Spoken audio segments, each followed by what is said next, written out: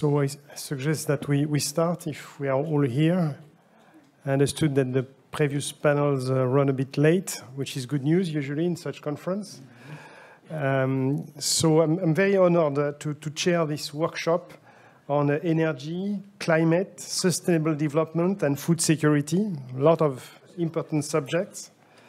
Uh, so let me first uh, thank the organizers, uh, Thierry de, de, Montbrial and uh, IFRI, uh, but also our host, uh, the United, United, Arab Emirates. And I would like to say, you know, Abu Dhabi, where else to organize such a nice conference? And we are very privileged to have a, a very distinguished panel today with us, starting with uh, Her Excellency Mariam, so I hope I will, I will pronounce your name properly, Al-Mheiri. Um, who has uh, recently been appointed so Minister of Climate Change and Environment of the UAE.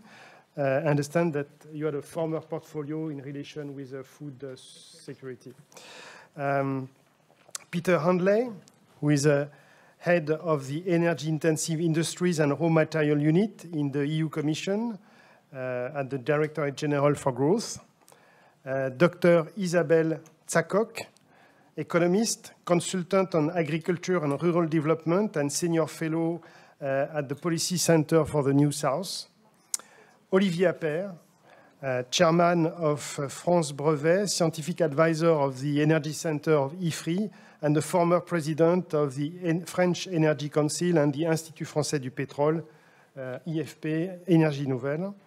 And last but not least, Marc-Antoine Eil-Mazega, okay, who is the director uh, of the Center for Energy and um, Climate at IFRI. So we're going to have a, a, a, workshop in four parts. Um, uh, a first uh, part that will be a sort of introductive uh, presentation by myself, really setting the scene on energies um, and, and, the climate challenge. Uh, and then we'll have a, a quick Q&A session on, on this topic. Then um, this will be uh, followed by uh, Her Excellency uh, Mariam Al-Mheiri on uh, sustainable food systems. Uh, there again, we'll have a, a Q&A session uh, after this presentation. Then we'll address two issues related to urgencies. One on the food security challenge with Dr. Isabelle Tsakok, and also on the electricity supply security challenge by Olivier Appert, and then we'll open again the floor for, for questions. Uh, and the fourth session will be on how to boost uh, nuclear, renewable, and other low-carbon technologies, uh, challenges and perspective. And uh, for this session, uh, Peter Handley uh, and Marc-Antoine will, Eyl-Mazzega will, will, will give us some, some information so that we can open the floor for discussion. So that, that's what I would like to, to propose to you as a menu for, for this afternoon. Uh, as I'm sure that there will be a lot of, a lot of questions after, after the presentation. So I'm, I'm going to start now with, with uh, my, my, presentation um, on energy. Um, energy, which is at the heart of the, the fight against climate change and the promotion of sustainable development. Energy is uh, fundamental to human life. Uh, energy is central to uh, all our activities uh, from uh, making food, uh, heating, light, transportation. So supplying energy means contributing to the economic and social development and the well-being of all people on the planet. Energy is also at the heart of one of the greatest challenges of the 21st century, saving the planet from the threat of climate change while enabling humanity to escape poverty. Climate change is a reality. And all society need to be part of the response, that is to say industry, policymakers or government, and also consumers. The energy and climate challenge are inseparable from other major world challenges such as poverty, hunger, environmental degradation, biodiversity loss, preservation of water, ethics, and corruption. The UN Sustainable Development Goals have set a path to the responsible creation of a better future that is more sustainable for everyone. It's not enough to decarbonize energy, it's also necessary to meet the growing energy needs of a rising global population in a responsible way. That is the dual challenge for energy. As you can see on this chart, uh, I'll, I'll, explain a, bit about the, the graph after, but there are 7.7 billion people in the world today, and more than 1 billion people do not have access to energy today. And in 2050, we should be approximately 10 billion people on the planet. And this demographic, growth and the improvement of living standards will require energy that is reliable, affordable, clean, and accessible to as many people as possible. This means reinventing energy. Uh, what I will just, this is looking, in fact, at the past in relation to GDP and associated uh, energy need and with the energy, the emissions that are coming today with the energy. And of course, there is immediately uh, the evidence of the climate challenge on this slide. Um, demography is a very predictable science in terms of uh, numbers. So uh, we know that uh, uh, you know, world population will grow, and therefore the need for energy is going to grow at, at, the, at the same time. I think that this slide illustrates the challenge to have a growing world population and GDP, and uh, therefore a growing energy need uh, for energy, and therefore greenhouse gas emissions. So reinventing energy means promoting renewable decarbonized energies. This is solar, wind power, biofuels, biogas, hydrogen. Reinventing energy also means reducing the emissions generated by the production of fossil energies and storing the residual carbon. Reinventing energy means that the market will have to change the way we use energy, focusing on energy efficiency and preferring renewable uh, or decarb decarbonized energies. Reinventing energy concerns all of society, governments, investors, business, and consumers. All of them have a role to play. So, in fact, last uh, Tuesday, um, we presented, Total Energies presented a new energy outlook. We do this every year. Um, and in this uh, new uh, energy outlook, we have essentially two uh, scenarios uh, looking towards uh, 2050. They are called momentum and rupture. Both of them um, uh, have, assumes a 3% growth per year of GDP but the associated growth of energy demand is not the same. In the momentum scenario, we have uh, uh, an assumption that the growth of energy demand will only be 0.5% per year. That in, implies that there is a lot of energy optimization in terms of the way we use energy. And for rupture, it's even less. It's only 0.3% uh, per year uh, in the rupture scenario. So the first uh, momentum scenario, and you will see why I, I explain this, uh, assumes that all of the net zero 2050 countries, that countries that have made commitments under the Paris Agreement uh, to be net zero by 2050, will deliver their commitments. And also that China will be on track to achieve carbon neutrality by 2060. Under that, that, scenario, the temperature will still rise to more than 2 degrees, it says 2.2 to 2.4 degrees C by the end of the century.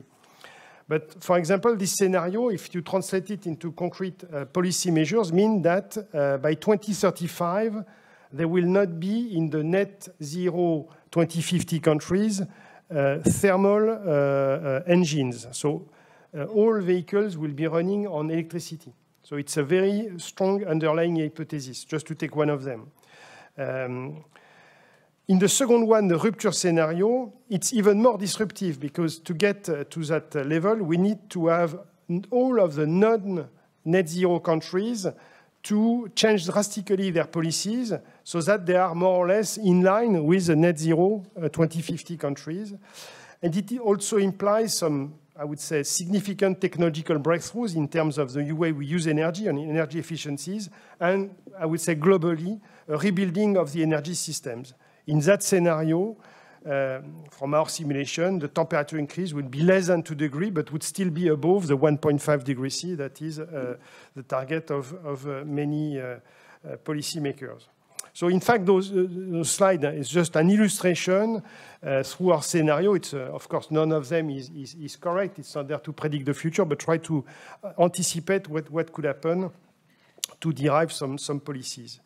So I would like to, in a simplistic way, because our presentation had 50 slides, so I extracted only a few, to show you uh, the path, in fact, to transforming energy, which uh, uh, I, I, believe is important for uh, you to understand and, in fact, to open the debate about the levers we have as an industry to, to, to transform this energy industry.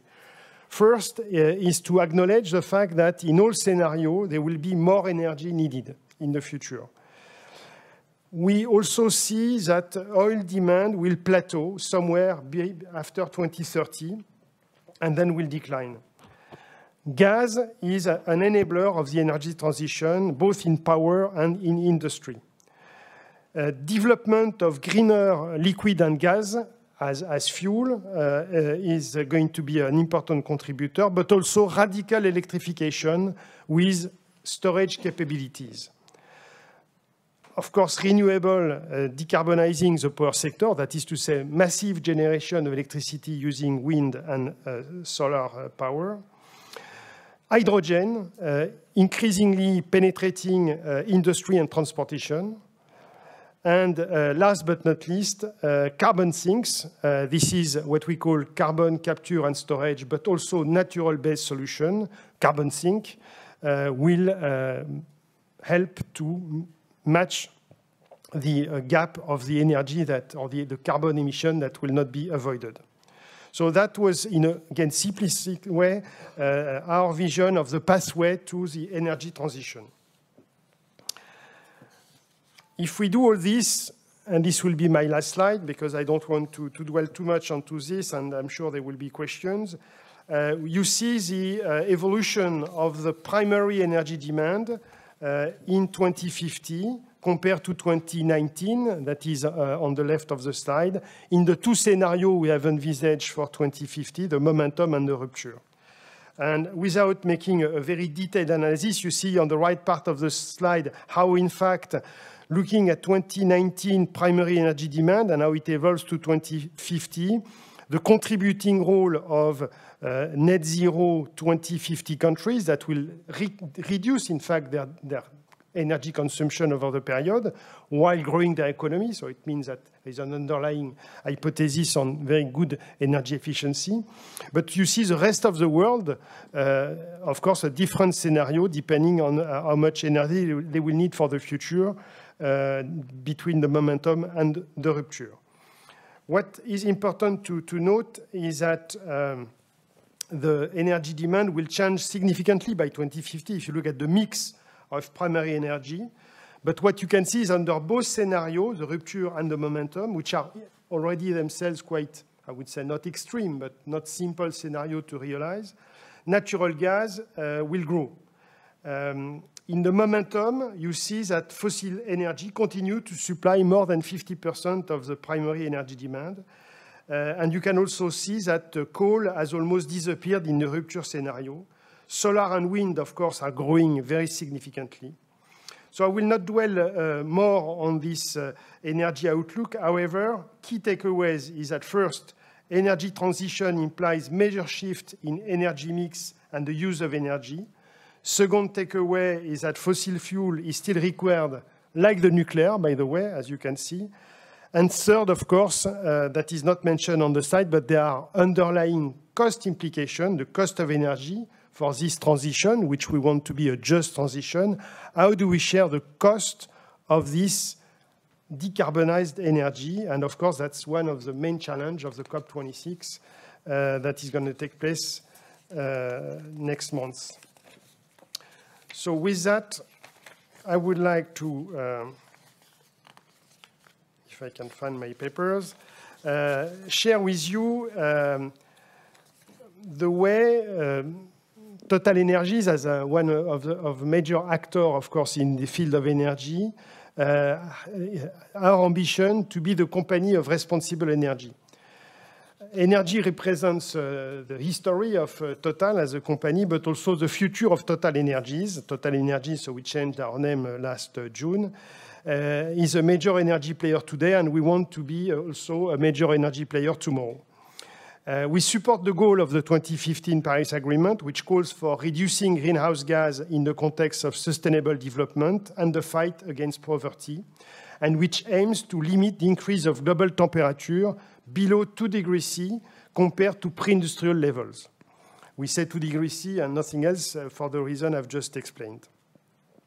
Total Energies declared its ambition to get to net zero across its production and energy products at scope 1, 2, and 3, for those who are familiar with this uh, uh, jargon.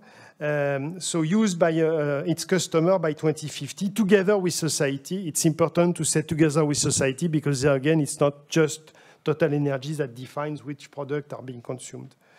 Total Energies has embedded the changing energy mix into its strategy by investing in renewables and electricity, favoring the use of natural gas in addition to hydrogen and biomass, targeting investments in low-cost oil and biofuels, and by developing nature-based carbon storage solution as well as CO2 capture and sequestration. This ambition means profitable investment in order to be one of the top five producers of renewable energy, to make renewable energy a profitable business. Deployment across the entire electricity value chain from production to the end user. This involves also storage and trading. To have a responsible approach on fossil energies, focusing on value by selecting low-cost development that are the most efficient in terms of greenhouse gas emission, producing also more green gases and green fuels we believe that there is a lot to do in this region in particular, and this is why we are developing a lot of projects uh, in, in, uh, in Abu Dhabi, but also in, in, in, the region. We want to reach the top three in uh, low carbon LNG.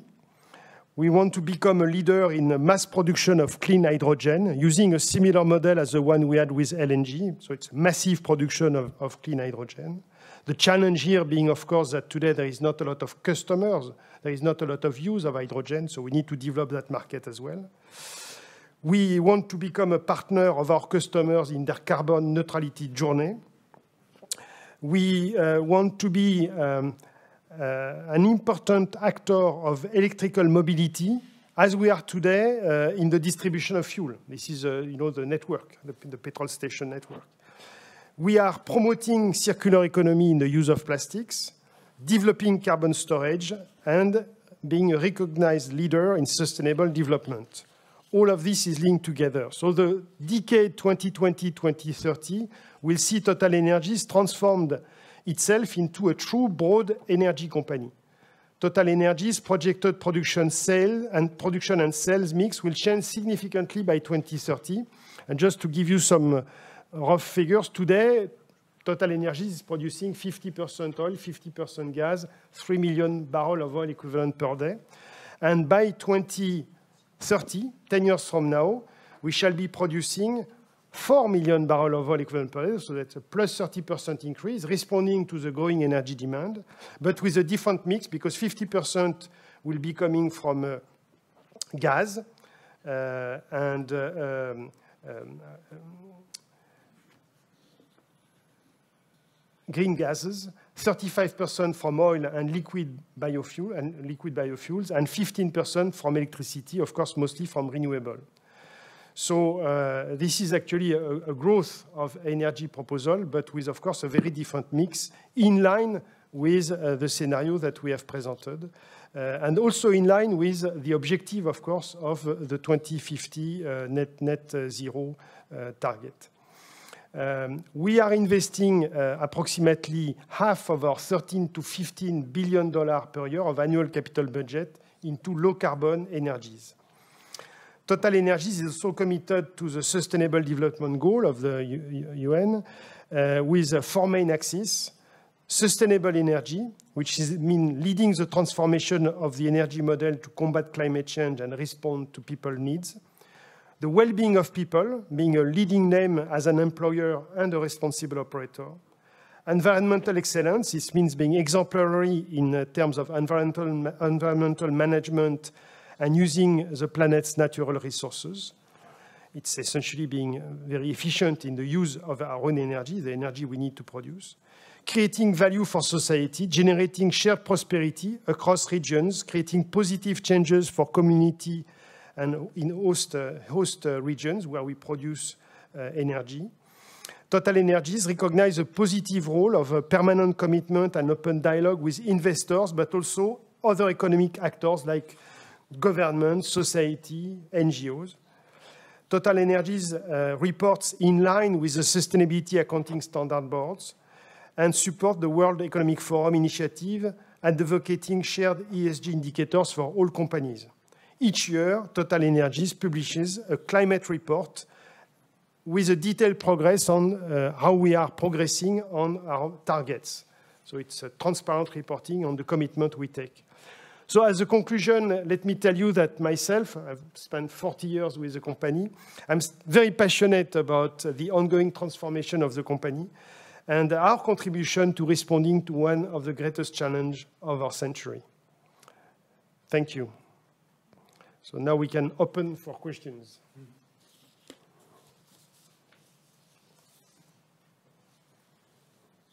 Oui? Yes? Louis Schweitzer. Uh, one question is the scenario on total energy demand.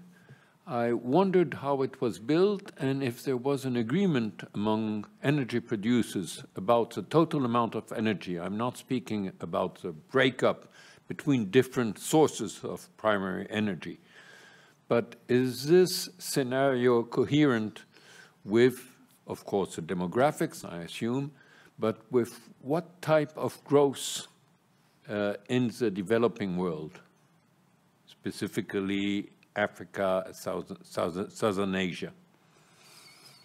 So uh, as I uh, told you, uh, the underlying hypothesis on both rupture and uh, momentum scenario is 3% growth of GDP. I cannot give you the detail per continent, but we have it, of course, uh, for reference. But uh, three, three, no, but still, the developing world at 3% is very low for what will be the larger part of the population of the world. So I was wondering simply if it meant uh, really uh, a limitation of growth for all developing countries and poorer countries today, which is, in my view, a major issue vis-à-vis -vis climate change. So uh, without going into detail, uh, these scenarios do not uh, take into account uh, limitation of the development of, as you put it, developing countries. So in fact, uh, we have a hypothesis regarding uh, very low uh, growth of, of GDP in developed countries. And, and, certainly, as you have seen in the slide, a reduction of the energy needed anyway uh, in, in the context of developed countries, but recognizing the fact that for developing countries, the need for energy will imply a growth of emissions, and that's factored into those simulations. So there is no limitation on the growth of the developing countries, which is one of the challenge because it's uh, how to, com to, combine, if I may say, uh, the legitimate uh, aspiration uh, of developing countries for better lives, uh, and, and, the fact that indeed a lot of the credit, if I may say, of you know how much uh, emission we can have in the atmosphere has been used already by emitting countries, by develop, developed countries. Sorry. Go.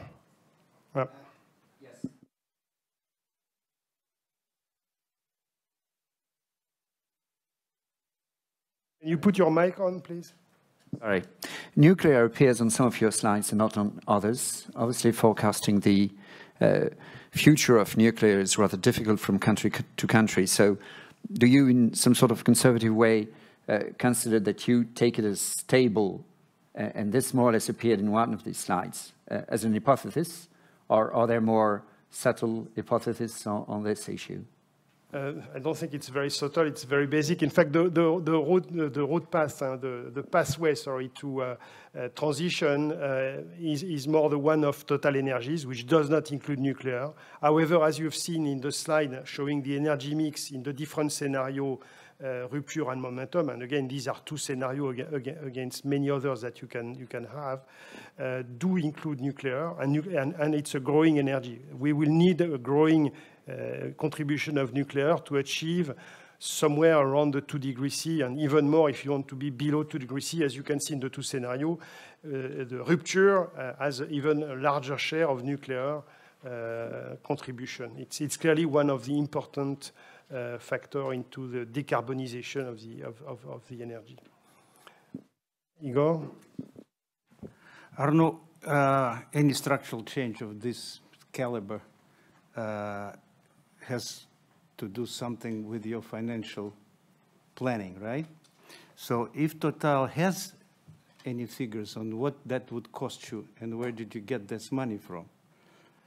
Uh, because, you know, people say that it might cost us globally about 36 trillion at the estimate of today. Either you put it as a tax on the population of the world, or you cut down the dividends of your shareholders because the, the taxation of that caliber is unbearable for the population. So the question is, do you have financial prognosis of what, what it's in for you? For this, and how do, you, how do you deal with your shareholder or with the consumer?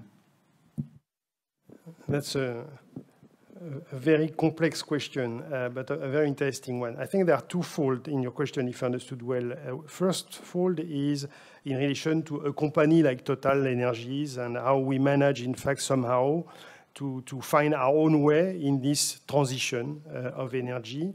Uh, and, and, and, we believe that uh, with the uh, underlying hypothesis in terms of the, the, the energy price moving forward. And we, have, we take rather conservative price for oil, for example. We take $50 per barrel. This is public, you know, uh, statement. So all of our long-term plan are based on $50 per barrel, which you could argue today is relatively conservative, or at least it's not excessive uh, uh oil price for the future. And with that, we are able to spend 13 to 15 billion dollars every year of capital investment, and we say we dedicate about half of this to low carbon, you know, uh, energy. Three billion being dedicated purely to solar and wind. So that's it's and, and with that, we manage because of the cash flow generated from these activities. Uh, and the selectivity we can apply on new projects. And we have a pipeline of projects that demonstrate that we can do this. Huh? Uh, I will not go into too much detail. This is not the subject of the panel, but uh, we, when we run our long-term plan, we see that we can continue to serve a dividend to uh, our shareholders, and, we believe, therefore, we have a sustainable model. And as you can see on the figures, we are also contributing to the transformation of the energy mix. We are more or less in line with, on the one hand, the um, fulfillment of energy demand. We're saying that between now and 2030, we'll grow up production of energy by 30%, so it's growth proposal, and at the same time, we decarbonize, and we want to reach net zero by 2050 uh, for uh, all of our products. It's not just about scope one and two, our emission, but also uh, the emission of our product. When it comes to a more global question about all of this is going to cost money because uh, indeed, if you take today, I will just take the example of hydrogen because it's maybe a way to relate to what, what, it means to translate from, say, oil to, to, to, to uh, uh, hydrogen as, as a source of energy. We produce today in our refineries what we call the gray hydrogen by reforming uh, uh, methane we, we know how to do that. Uh, the, the cost uh, is, roughly speaking, depending on the cost of gas and the environment, between 50 and 100 dollars per barrel of oil equivalent. This is equivalent of energy. So we are kind of comparing apple and apple. So you see that uh, gray hydrogen is not so different from oil. You could argue a bit more expensive, uh, one to twice more expensive. If you want to go to what we call blue hydrogen, which is hydrogen produced out of methane, but where you take the associated emission of CO2 and you reinject. You multiply the cost by two or three, which means uh, you are into the range of 150 you know, dollar per barrel. If then you want to go to green hydrogen, which is the hydrogen that would be produced out of electrolysis, you know, of water, uh, by, say, uh, renewable production, solar or wind power, then the factor is 4 to 5. So you are in the range of 200 to 250 dollars per barrel. This gives you the immediate measure of the impact on the global economy of shifting dramatically, you know, to a purely hydrogen source. So this is why we need to have a, a just transition. Your, your, very high figure, you know, of numbers of there is a cost associated with this transition, and, and the question is how are we going to share the cost to support, in fact, the developing countries in consuming these more expensive energies. And clearly, we, we can see because uh, when I spoke about this uh, uh, gray, uh, blue, and green hydrogen, I mean, um, I'm, I'm sure that mankind, you know, will will the uh, inventivity, you know, uh, innovation will, will help us to, to reduce the cost. But it, it will not be, you know, from, from, uh, from uh, a factor of five in, in, in, a few years. Again, all of this needs time. So that, that that's really the, the subject of this transition. But uh, maybe Olivier uh, want to, to, to comment on, on, on this subject of the, the, the cost of the, of the transition. I would say, unfortunately, uh, for the policymakers, they don't count. And uh, so the, the uh, uh green is uh, so attractive that you should not count. That's, that's a pity. And it is a case in France, it is a case in Europe. You take decisions, you put targets, you don't evaluate how you will reach these targets and what will be the cost what is the cost of a, a Fit for 55? How it will be achieved? No, the decision will be taken, is, will be taken sometime, and uh, in two or three years, it will appear that we will not reach this target, so we will increase furthermore the target, and then you are sure to go below. Greta Thunberg. Uh, maybe a last question on this session. Uh, excuse me. Uh, you referred to a strategic uh, to a strategic scenario. These scenarios are based on model, uh, and I would say, by experience, a model is garbage in, garbage out. And uh, I wonder what is the garbage in, the hypothesis uh, uh, you put in this model. You refer to one hypothesis, which is uh, the uh, uh, no, in 2035, no more ther thermal engines. this is challenging. But what you know, uh, the difference between challenging and totally unrealistic sometimes is very thin.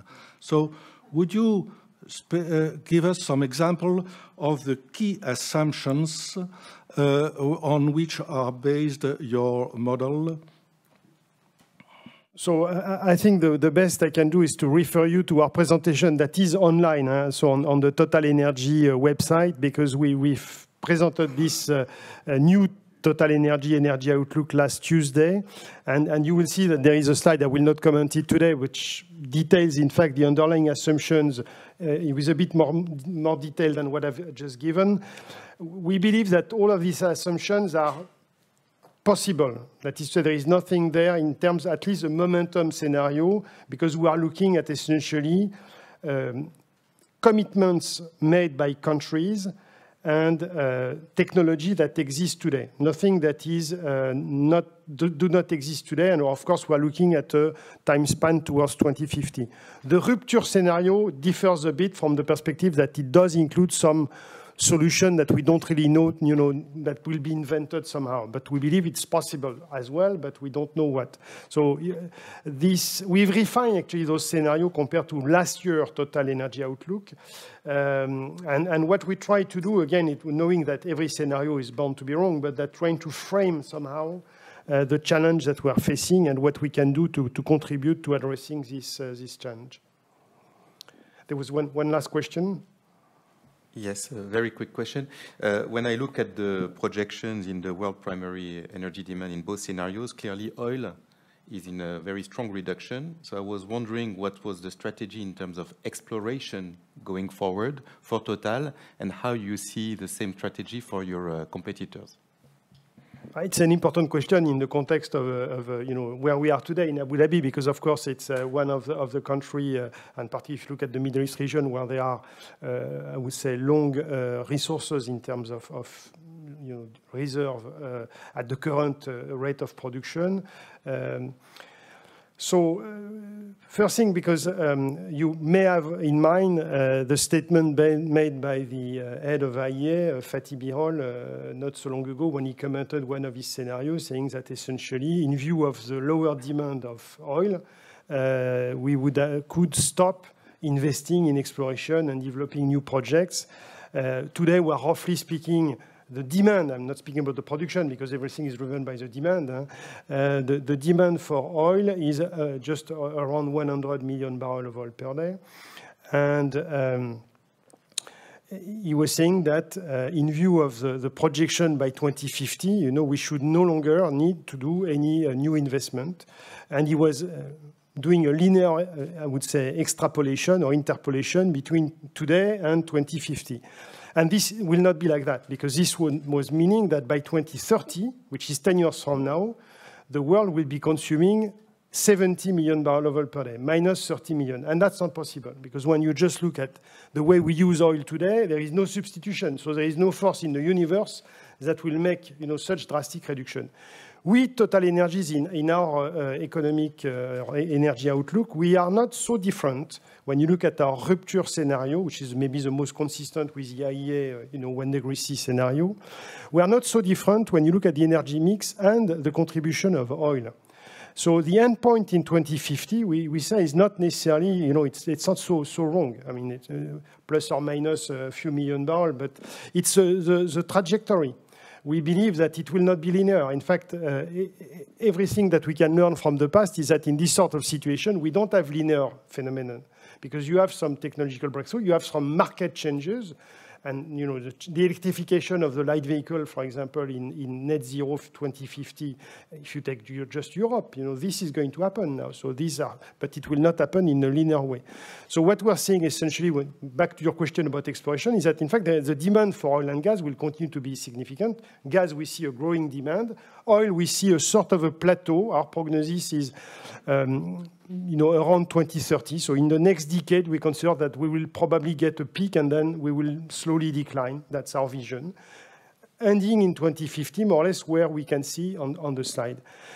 If then you look into, take into account the fact that um, oil fields are, it's, it's uh, the oil production, it, it's a depletion industry. Right? So the, the, day you start to produce, you start to decline. And you take the average decline of an oil fields, and that's globally, uh, you see that in 10 years, you lose 40% of your production, between 30 and 40%, depending on the assumption. So it means that if you do nothing, you, you get effectively to the 70 uh, million barrels per day of Fatih Birol. But uh, since we know that we will need more, you know, we need still to explore for oil and we need to develop new oil fields. And if you just look at what we need to supply the, the, the three-year demand, as, as, we, as we can prognosis, and three years is a relatively short period of time, we are short of 3 to 5 million barrels of oil per day. This is the IEA, by the way, so it's not myself. Huh? Uh, and uh, if you look at uh, what we've been able to put on stream in the last three years, it's 1.5 million barrels of oil per day. So you can see that the immediate challenge is the risk of shortage of oil, and one of the many explanations about the current oil price and energy price is due to this tension because our industry has been underinvesting since the last downturn in 2015. So there was underinvestment by the industry in 15, 16, 17, 18. 19 was the first year when we started to really you know, get back to normal investment level, and then we got 20 and 21, again, very significant reduction. So there is an underlying shortage, structural shortage of oil uh, production coming up in, you know, in front of us. And as you know, the oil markets are always supplied, but the price is the anticipation of the uh, shortage in the coming years. So today, there is a tension, and indeed, we need to continue to explore the strategy or the, I would say, the uh, choice, the strategic choice of uh, Total Energies is to focus on what we call low cost uh, oil projects. Why? Because of the volatility. Look at what happened in 2020. Huh? The oil price fell below $40 per barrel. Uh, you need to be able to, your projects have got to be resilient to this sort of environment.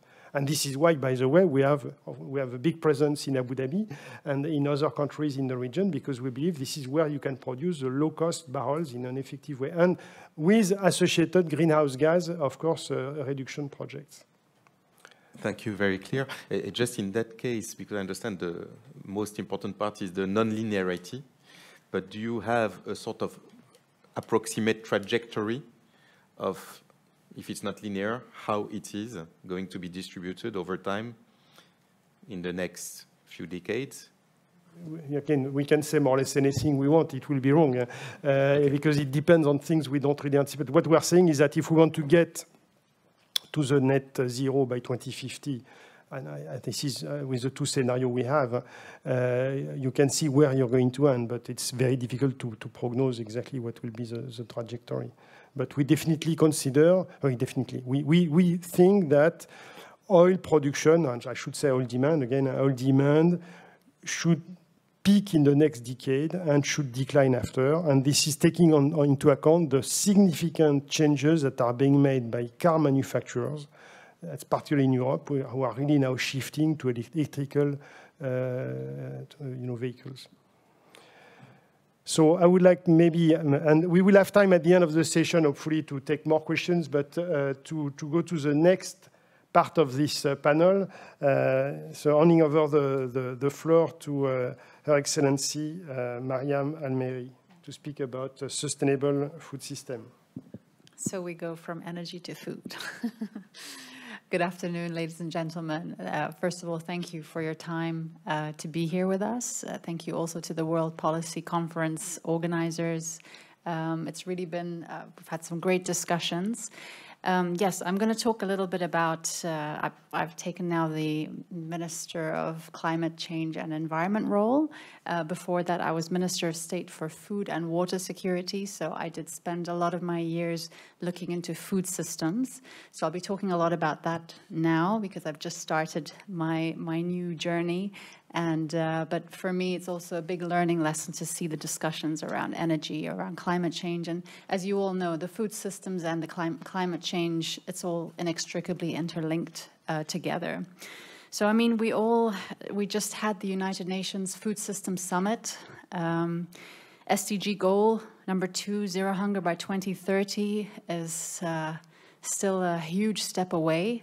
Um, there's clearly still a lot to be done it's it's funny because in a way our food systems are the problem, but they are also the solution as well.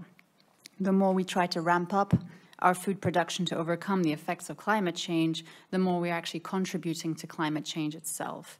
And really what is needed now is total commitment to food systems transformation. And for us here in the UAE, um, we see ourselves as responsible global citizens. And for us to do this transformation or be part of this transformation, we also have to start looking at these transformations within the UAE itself. I kind of just want to give you a little bit of a history. Uh, 2008, 2009, we faced our food, last food crisis here in the UAE. And uh, the leadership of the UAE really said, okay, it's, it's time we take food security needs to be taken more seriously than it has been. We need to start looking into how we can ensure that we're not just food secure today, but also in future. In the past uh, years, UAE has been known as be being a hub of food trade. So we have our ports, we have our national airlines, we have excellent infrastructure to bring huge volumes of food into the country. And as you may all know, we have over 200 nationalities living here in the UAE. Everybody has their tastes and uh, what they like to eat. So everybody likes to go to the supermarket and find their foods that they usually find at home.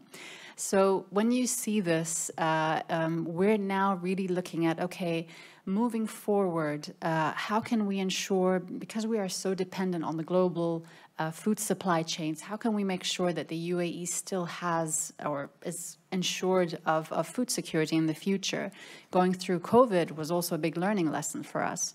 So going back to we faced our food crisis and the leadership took many steps. One of them was to appoint a Minister of State for Food Security, which is myself. Um, this was also the first time for the UAE. Uh, with that, the first steps I did was making sure uh, we, have a, we have a plan that the country knows where it is that we're going. Because food security as a subject itself, it's about food trade, it's about nutrition, it's about food loss and food waste, it's about um, food safety, it's about ensuring you have national reserves, especially for a country that doesn't have the typical agricultural uh, lands, and and and um, we're not an agricultural country in itself. So you have the national storages as well. So thinking of all those things, I kind of have to had to speak with all the stakeholders and bring them together and say, let's create a national plan for the country to ensure that in future we're also ready and we're more resilient. So we launched the National Food Security Strategy 2051 in 2018. Then, of course, for every strat strategy, you have to have a vehicle to move this forward. So we, we then created the governance model uh, for the UAE and putting it forward. And then bang, 2020 came, COVID came. And this was for us a big learning lesson. Believe me, there was a lot happening in the background, but for those who lived here, for a country that brings in more than 90% of its food, we didn't face a single minute where some shelves were empty of certain food commodities. And I think this really shows uh, that we are, as a country, have a really robust food system and that the plans we had in place and the programs and the, the partnerships and the leadership's political the political will was there i think these were all really important elements to showcase that the only way you can move forward also in future is to ensure that you have these elements in, in place. And so with that, of course, taking also action on a global scale and helping other countries. I mean, I think a lot of you saw, I mean, we did repatriation flights and we kind of used those flights to bring in food to the country. Uh, the UAE was really one of the leaders when it came to humanitarian aid. We sent them food, we sent them medical supplies. So we really took our role as a responsible uh, world citizen in, in when it comes to food systems and, and, and towards the SDG 2. So um, we, of course, took our part as well in the United Nations Food Systems Summit. And as you all know, um, we're now moving towards the COP26 as well. Um, but before we go to COP26, um, a, a, key element that we learned as well going through COVID was that actually we, sh we should start looking at what we could grow in the UAE. Uh, and it needs to make commercial sense and it needs to be sustainability needs to be in the heart of it. So you've all heard of vertical farms or closed environment agriculture. So these are all systems of how you can now grow food in a closed system where you can actually control the environment and when you're where you're able to actually recirculate the water. You can recirculate it again and again and reuse it. And for for us water is a precious resource as well. So we, we really try to look into, okay, let's create, now we have the plan and we also have the UAE food basket. So we needed to identify what are our main food items. With all these 200 nationalities living in the UAE, what does the UAE actually eat? Um, and so you see things like rice, of course. There are other parts of the world where potato is then more uh, the, the commodity there. So really looking into the needs of a country, what are the food items? And then from that basket, what actually makes sense to grow in the UAE. And this is where the private sector then came and said, okay, we now have technologies, we don't actually need, we, it can all be done inside, we just need uh, small space and uh, we need connection to water and electricity. So this is where you get the whole connection of energy and water. And the whole idea now is, hopefully one day, how can we grow food um, without using expensive uh, unsustainable energy sources and being able to use water, treated wastewater, for example, um, into the system to have, uh, to, to have food for everybody. And I often say the three S's. How can we use the sun, the sea, and the sand to produce food? So the UAE wants to become not just a hub for food trade, but we want to become a hub for technology, innovation, and knowledge when it comes to growing certain foods in environments such as in the UAE. And this is where we're moving towards. Uh, I'm sure some of you have heard of the Aim for Climate initiative, which was announced at the leaders' uh, uh, COP summit, uh, where His, uh, His Excellency Joe Biden announced the Aim for Climate initiative. Our Prime Minister, Sheikh Mohammed bin Rashid, also announced it. So it's called Agriculture Innovation Mission for Climate, Aim for Climate. And it's all about how countries can come together, share data, share knowledge, and accelerate in research and development needed to transform our food systems. So we're taking our, um, our we, we see this as a duty that we must do, and we've already started. The first initiative was announced to create a, a valley or a playground called Food Tech Valley. So this is, um, in a way, I, yeah, I like to say playground of where we hope to see future clean tech-based uh, food technologies, food systems come alive. This is where we try to attract youth, where we attract attract women, more women into the sector, to try and look at how we can grow food differently. And um, so we're really excited about these projects moving forward. And as I was saying, this is some of the glimpses. I, I don't want to go on and on with a lot of the initiatives that we've done, but the UAE is really taking big steps into uh, transforming our own food systems and also helping other countries as well. And of course, as we move now to COP26, um, un unquestionably uh, the most important edition of the summit since the inaugural COP uh, was held in Berlin in 1995, the UAE is really fully committed to playing a leading role at the summit. Um, it is, or we have been one of the few countries in the region to submit. I now need to look a little bit more at my notes because this is going into my new portfolio. so um, we were one of the few countries in the region to submit a second NDC, which is called the National Determined uh, Commitments correct? National contributions. contributions. There we go. You, I think you are more familiar with the wording than I am. Um, ahead of the December 30th, 2020 deadline, uh, which included a region-first economy-wide target of 23.5% reduction of emissions by 2030. And I believe this uh, translates into an absolute emission reduction of about 70 million tons. We also support the G77 and China position uh, that developed countries need to deliver on the $100 billion of public finance they promised in 2009. Although as a developing country, the UAE is not part of this pledge, but we believe in helping fellow developing, uh, developing countries. And here are some examples.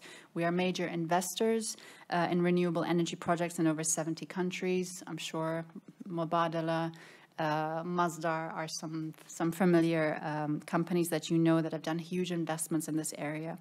Uh, we've provided billions of dollars in humanitarian relief for climate disasters. We have provided over $1 billion of grants and soft loans for renewable energy power projects in developing countries.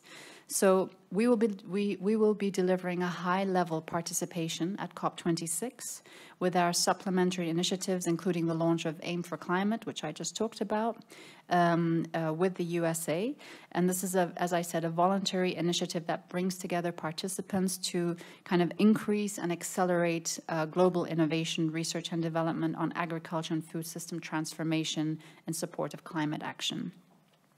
So we like to lead by example and show efforts in transforming our food systems. Um, we know that this is not easy, and this is, and it also it takes mind change as well, and we're experiencing this in the UAE as well, making the people understand that it's um, we need to move forward with these transitions. We need to look at how can we empower companies, for example, who have ag tech um, uh, technologies and say, you know what, we're ready to grow strawberries in the UAE. Okay, how can we empower these companies to actually grow strawberries in the UAE? So what we've done a lot too is, is listen. Listen to what the private sector needs and in doing so, um, what we're trying to do is change the blueprint of the country because the blueprint of the country so far was very much based on trade, food trade, but now changing the blueprint to start attracting investments to the UAE. So there are typical small things like, okay, access to finance, uh, there should be insurance companies to, to insure your pro produce. Some people may think this is actually basics, but these are things that we have to actually lay the foundation for in the UAE to try and look at how we can now attract ag tech companies to, to develop in the UAE. So with that, I will stop talking and take your questions. Thank you. So please. Yeah. Ambassador.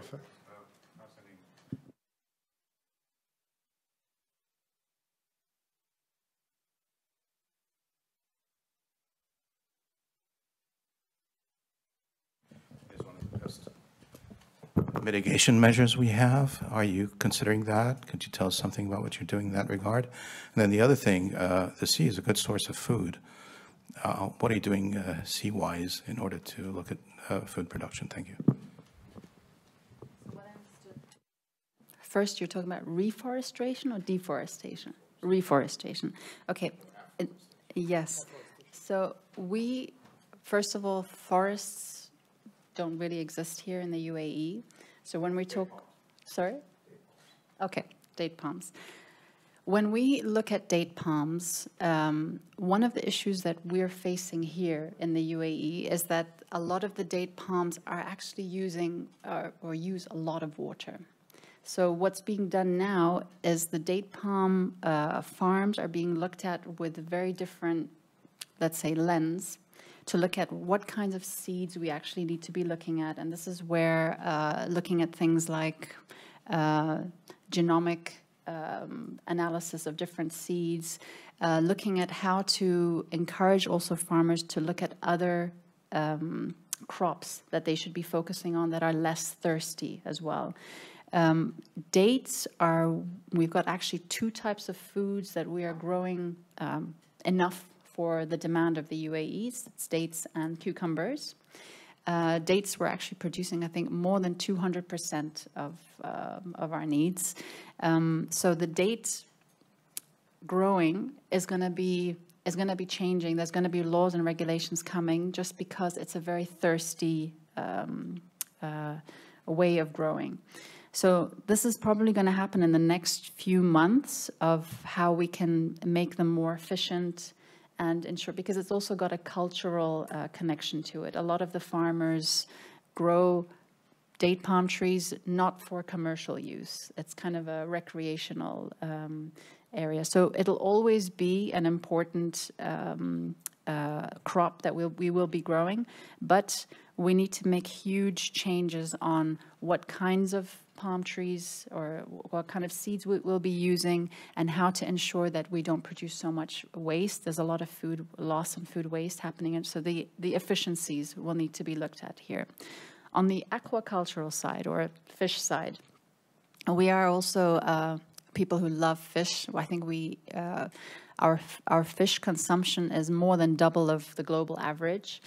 Uh, we import um, also, I think about 85% of the fish uh, that we eat is imported. Um, on the fisheries side, um, this is again now in the new ministry that I've come in, they do all the regulations on the fishing. But what we're trying to do now is look at how aquaculture can contribute more to what we're doing. Um, some of the initiatives that we've taken is the government has invested in a hatchery and this hatchery will be in operation by the end of the year. And this hatchery will be supplying um, fingerlings for the aquacultural sector, so looking at local species and also um, species such as salmon. There is already a fish farm actually growing salmon here in the UAE. Sea bass, sea bream are also on the top, and then come some of the local species. So aquaculture will be something that you will see be picking up now as well. Why is it picking up? Because of technology, because of the RAS systems that have now been developed that can actually be uh, used uh, inland as well, because we actually don't have uh, seas with depth, so sea cage farming is a little bit more difficult for us. Okay, thanks. Oui. Thank you so much. Fascinating presentation, and I cannot but uh, suggest you to visit the OECD in Paris, which has an excellent team working on fisheries and especially aquaculture, and that has been monitoring the policies in aquaculture of its uh, 77 member countries and partner countries. So I'm sure there's a lot to to discuss there. Um, I'd be interested to know Um, the UAE is one of the very progressive countries in the world, and you are developing nuclear power as we speak here. And there's a couple of reactors that are going to be commissioned soon, and, and one is already operational. So this gives you obviously a lot of electricity at some point. And so the question is, what are you going to do with all that electricity? So you might do hydrogen, um, but you might also increase the desalination of water, right, in, in the country. So what are the plans in, in this respect? Um, because it's very electricity intensive. And, and the second question related to the international dimension of the uh, kind of uh, um, sustainable agricultural hub that you aim to develop here. Um, Israel is obviously a leader here, and uh, we've heard and discussed extensively today the Abraham uh, uh Agreement. Um, to what extent um, is there a strategic partnership in, in the making with Israel uh, in this? Thank you so much. Thank you. Thank you, Marc Antoine. Um, so yes, on the on the water side, or let's say the desalination side, we've seen huge steps uh, in the UAE trying to make the whole desalination procedures more sustainable, and that to try to decouple desalination from power generation. So reverse osmosis is now really picking up, and uh, moving forward, all new desalination plants will be using the RO systems um, with very much uh, having always sustainability at, at our hearts because we know, I mean, at the end of the day, we are a water scarce country, so we will be using the desalination process. But as the UAE commences and takes also the responsibility of saying, okay, we are also um, uh, responsible global citizens, we have to ensure that whatever we take forward when it comes to um, um, producing energy, when it comes to uh, desalination, we need to ensure that we're using the right technology to reduce our carbon footprints. And we are really, if, if you've noticed, we have a, a special envoy for climate change, we have a ministry for climate change. So for us, climate change is uh, really on the top of the agenda.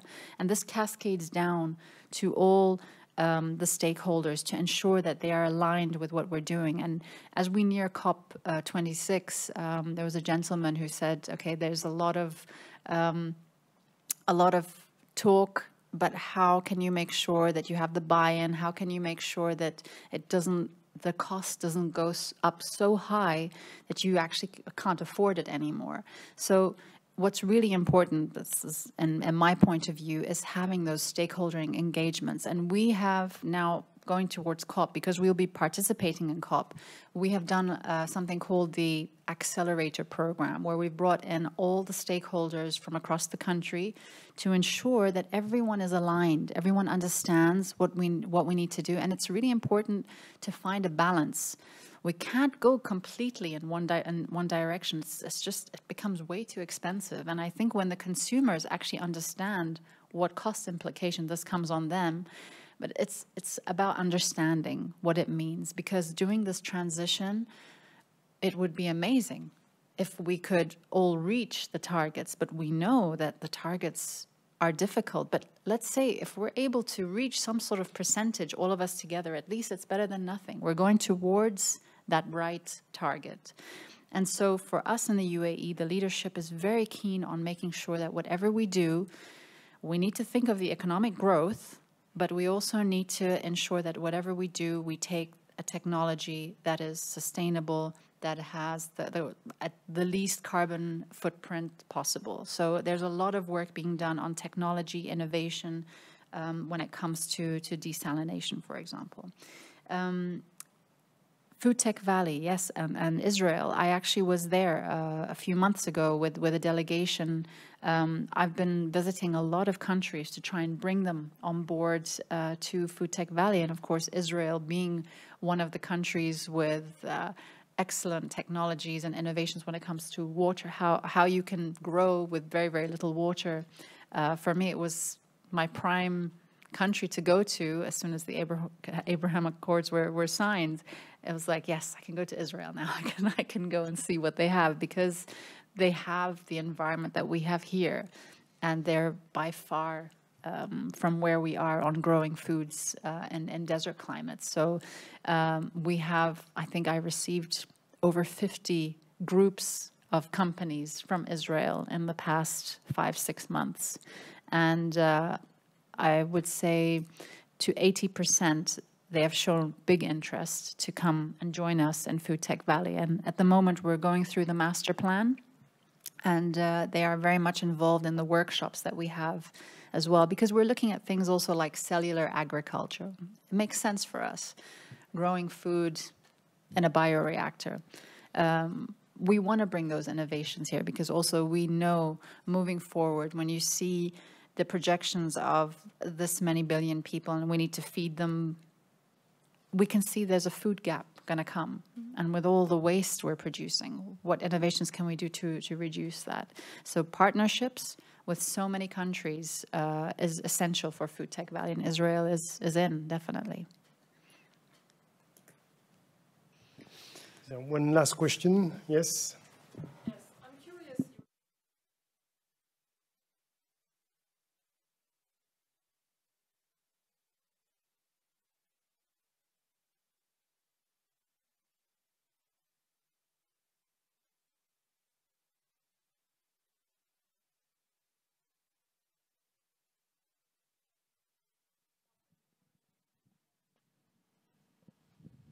Thank you. Very good question. I actually just opened the Desert Life Science Center just a week ago.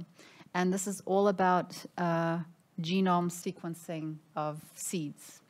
Um, so I was telling the people, I was like, it's, it's so fascinating when you actually see and understand traits of certain seeds to be able to say, okay, well, this, this makes sense to grow in harsh climates like the UAE. Um, this Desert Science Lab has been set up with BGI, uh, which used to be Beijing Gen Genomics Institute. Um, and um, this partnership was made because we really wanted to um, further study uh, crops that can grow in our environment and also understand what crops would be good to grow in closed environments because it's it's clearly a different um, environment. Having people understand how important this whole subject of GMOs also is, is, is essential because people kind of, they go with the flow. They're like, okay, everyone's saying that's not good, then I, okay, I will say it's not good. Um, it's the same as when you say organic. Okay, organic and sustainable are also two, two different things. So when something's organic, then you know that probably this plant has had a lot more water maybe than another plant, or it's a lot more space. Um, and so the education is really important here. And it's uh, for us here in the UAE, again, going back to the our, we grew up here knowing that we bring food from outside. So we have food here that are GMOs, we have food that are non-GMOs. Things need to be clearly labeled. So we don't say we don't want or we do want we kind of leave it up to the UAE population to choose what they would like.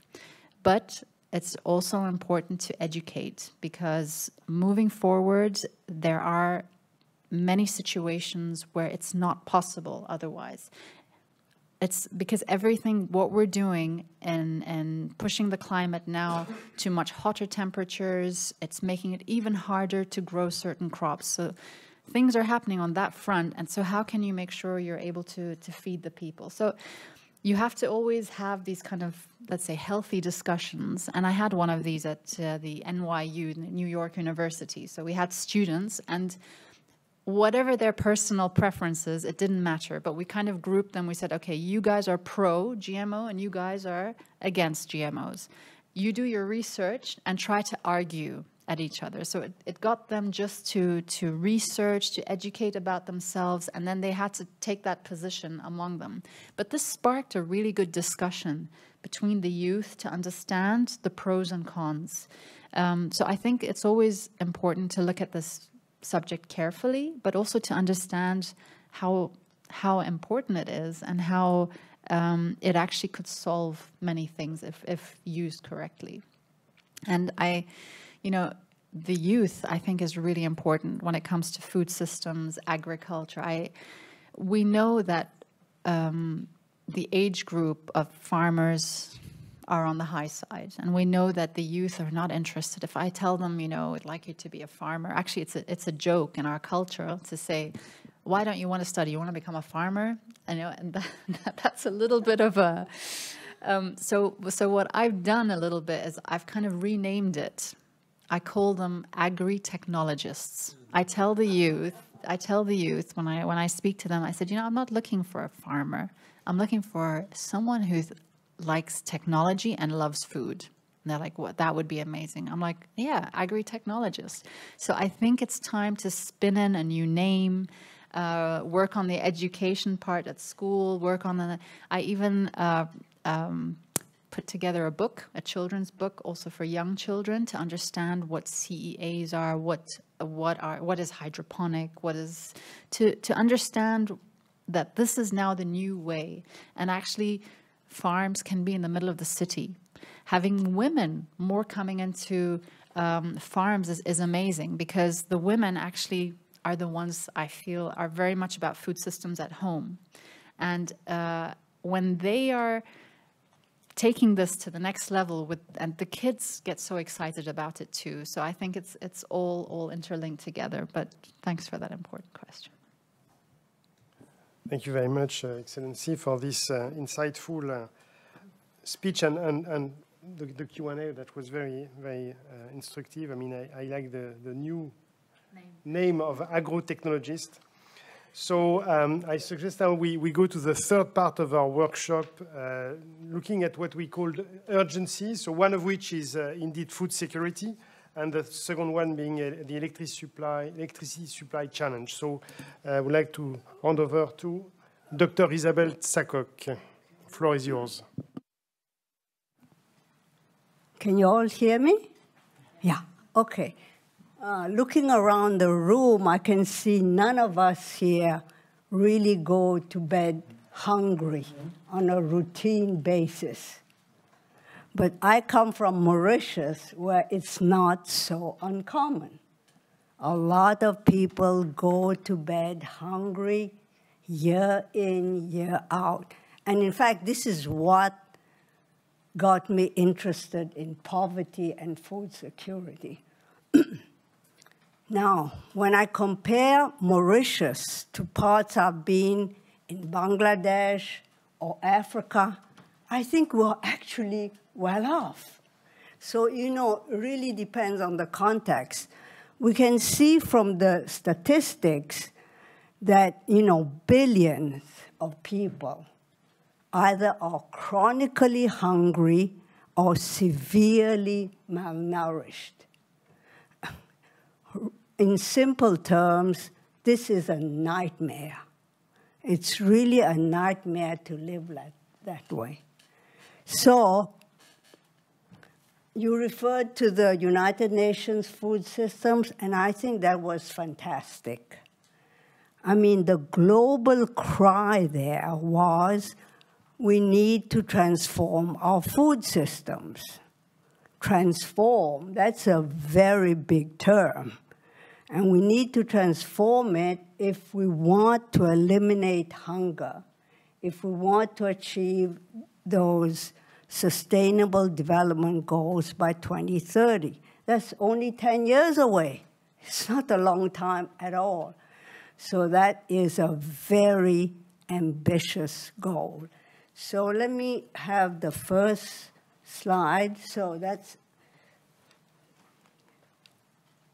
oh, let me see where I can move it. Yes. I like the way the EAT Lancet Commission puts it.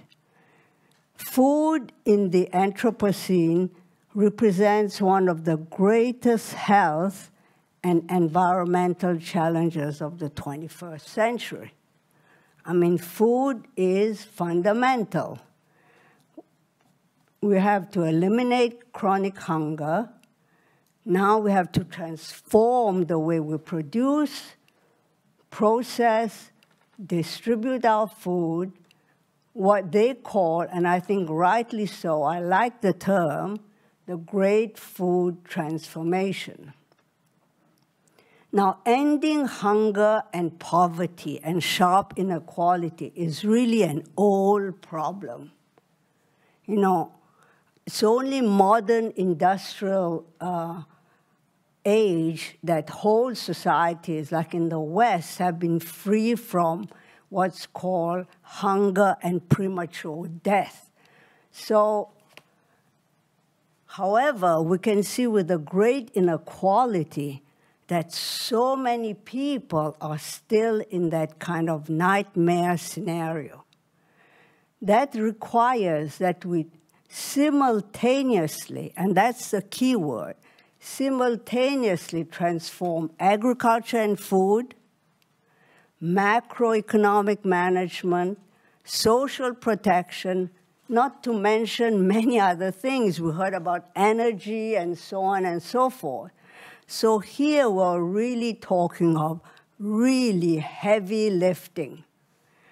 This transformation, according to them, because we're in such an interdependent world, all under the threat, existential threat of climate change, this transformation will not happen unless there's widespread, widespread is key, multi-sector, it's not just agriculture either, multi-action level action to change what we eat, how it's produced for the global population. I mean, it's a very big ambition. It's something we haven't been able to do despite the growth of some countries in the West really a minority of countries are well off.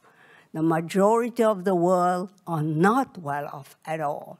Varying degrees, but they are not well off. Since food is the first medicine, people cannot have food, they cannot be healthy.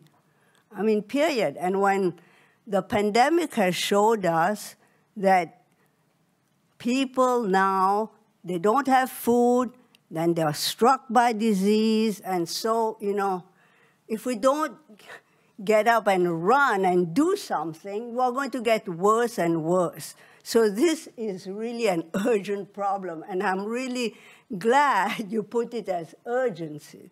It is absolutely urgent. So what I'd like to do in the few minutes is I'd like to point out what is the conceptual approach that is required to solve this food security problem. I hope later we can discuss the specifics and what happens in the world. And I'd like to draw from Peter Timmer, who is a foremost authority on food security. Oh, this is a complicated pro, uh, diagram, but I just want to make a few points which is really characteristic of his approach. Number one is his approach is holistic, and that is important, holistic. You see, it's macro, it's micro, it's short term, it's long term. You see, there are so many quadrants in there, and we can talk about each of them. Each of them is very difficult to achieve. But now you have to achieve all of them. And as he puts it, sustained policy attention is required, is required. Not like maybe you can do it, maybe you can't, to achieve these objectives. His book is a really great subtitle. It's Food Security and Scarcity why is ending chronic hunger so hard? Everybody says, well, we should end hunger. We should, but it's actually really hard to do it. There's a good reason why we didn't get there. It's not because people are wicked or whatever. Just the nature of the task is really difficult to do that. So I hope we can discuss more all the quadrants in there. I'd like to look at his approach, but from a different angle, where he talks of the development trilogy. I mean, Peter Timmer has worked a lot in Asia, in Indonesia, Malaysia, Vietnam, and so on. And his view is Asian governments, that is their development goal. The development trilogy, not just growth, but they want equity and they want stability. It's like the three legs of a, of a stool. You have to have the three. Now, to have this, oh my God, what happened to the thing? Oops. It, it will come back. Will oh, well, back. we have some mushroom in the meantime. That's okay. Yes, it's actually, I love mushroom. oh, now we have a dog. okay, shall we go back to the development trilogy? Oh, Hopefully it will come back, yes. Okay, here. here. Okay, here too, I don't want to go into every little thing. We can look at it later. But the key point here that's not made in the first diagram is agriculture and rural development is central to achieving growth, equity, and stability. So we come back to those little farmers that we all look down upon. You know, to be a farmer is to be dumb, is to whatever. Well, why? Because they are poor. I mean, American farmers are not in that category at all. So that is the key point about that diagram, is to see the centrality of agriculture and rural development. Now I'll go to a, oops. This is the question that has fascinated me professionally, is how do we change a low productivity subsistence agriculture into a high productivity, successful agriculture. This is what my research has been. When I left the bank, I always said when I retired from the bank, that's the first thing I'm going to do. I'm going to see why we can't do it. In the bank, we do a lot of agricultural development, but it is so disappointing despite efforts from everybody. And I was just wondering, why is it? People say, oh, you're the World Bank, you can do this, you can do that. But we can't transform agriculture. What's wrong with us? So when I looked into it, I became a lot more lenient on my evaluation of the bank. This is what I, I have looked at all the agricultures on which I could have data. So it's not all the world, but you know, data is hard to come by.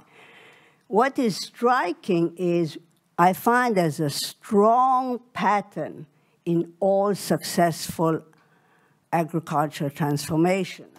And that's the topic of my book. It's called Successful Agricultural Transformation, what it means and what makes it happen. Now, what does it mean? you know, success is an elastic term. Well, we mean two things. Number one, that there's productivity increase that stretches over decades. Not one year, not yo-yoing like this, not with the election cycle, but decades. 10 years, 20 years, 30 years, depending on the country, and we can go into specific cases. Number two, we look at did that agricultural productivity actually help most of the people? By that we mean at least 50%. We look at the poverty level, we look at all kinds of socioeconomic indicators. Well, what is striking, which I actually learned, I did this research with another professor in the University of Maryland. We find that number one, all these countries had a stable framework of macroeconomic and political stability. You need stability for growth. You see, this is the Asian development trilogy. You can't have growth if you have wars and ups and downs and all this excitement. It doesn't work. Number two, you need an effective technology transfer system. And we just heard how much emphasis UAE is putting. I mean, technology is key. Without technology, you're just digging the old way, and we can't afford the old way anymore. We just can't afford it.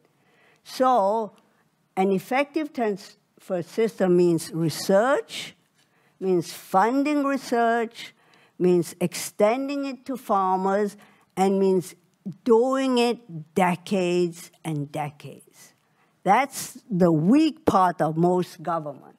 They do it and then they forget it or whatever happens to them. Then access to lucrative markets. That makes sense. Why would you produce so many potatoes when they all rot? You know, high productivity must go with markets. So when you look at these conditions, they all interact and support each other.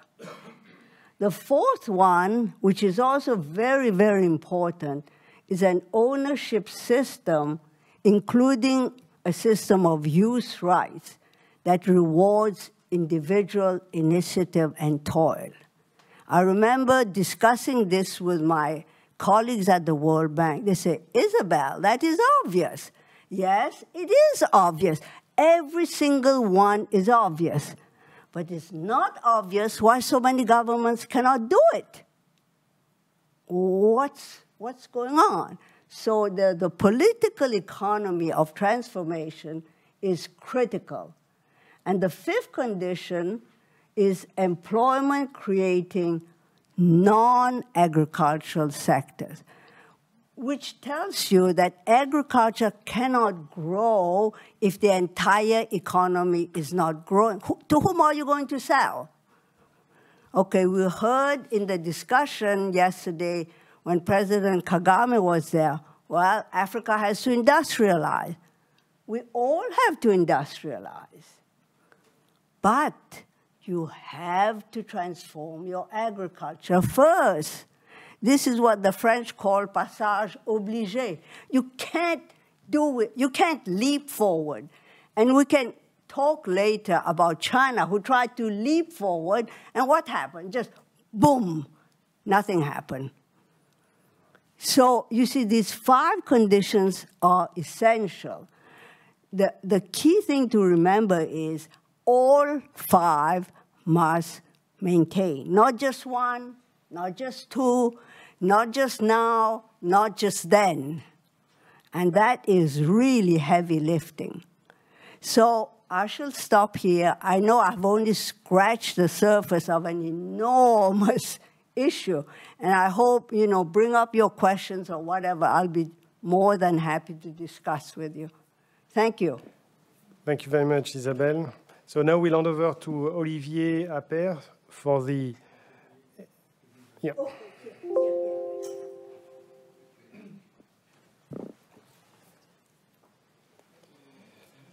subject of the scarcity of electricity.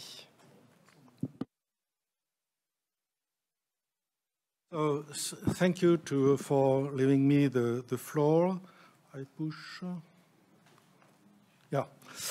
Uh, security of supply of electricity is becoming a highly topi uh, topical issue. There's been, I remember that there's been major blackouts in uh, California in August 2020 or more recently in Texas in February uh, uh, 2021.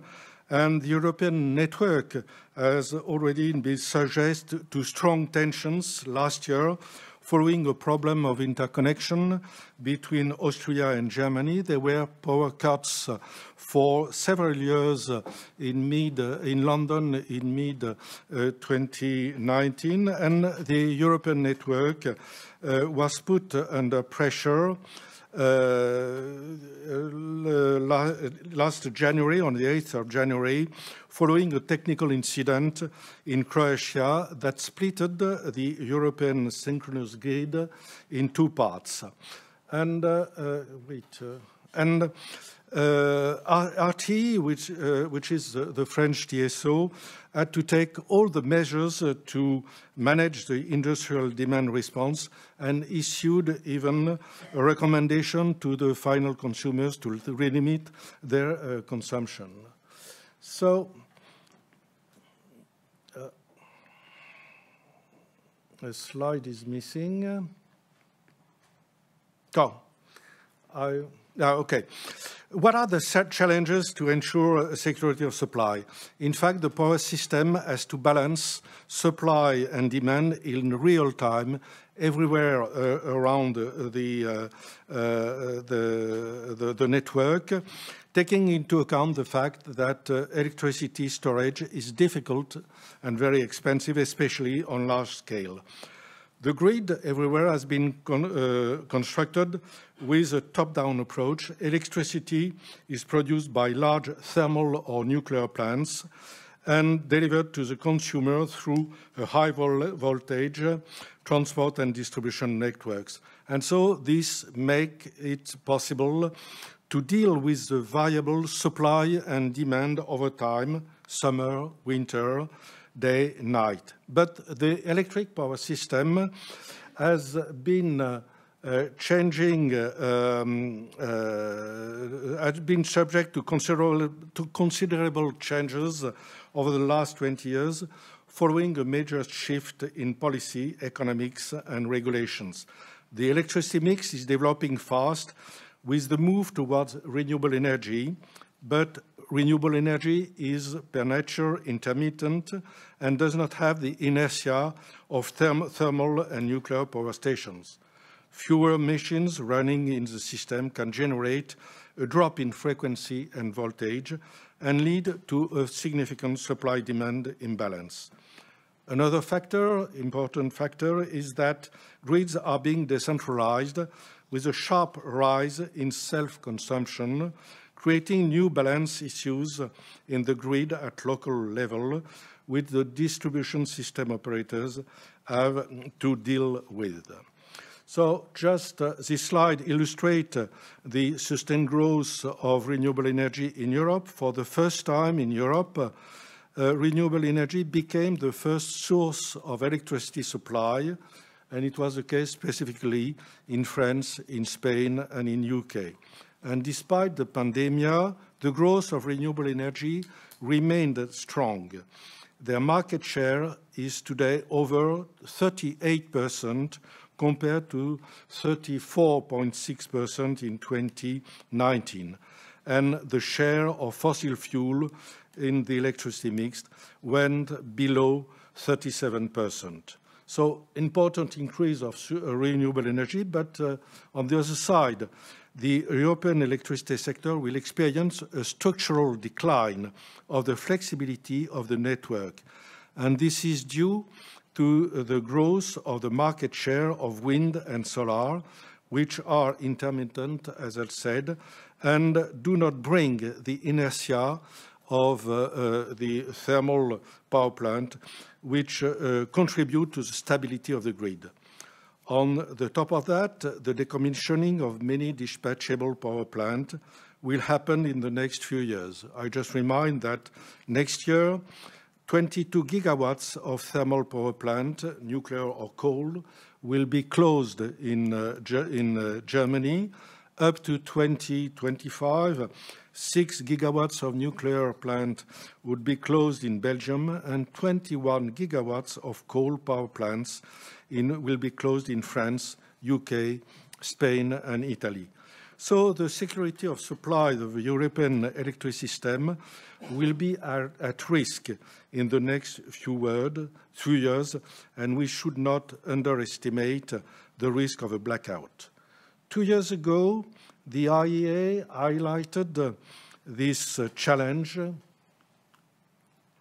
Wait yeah, uh, everywhere in, uh, in, in the world in a context of increase everywhere of the share of electricity in the electricity mixed.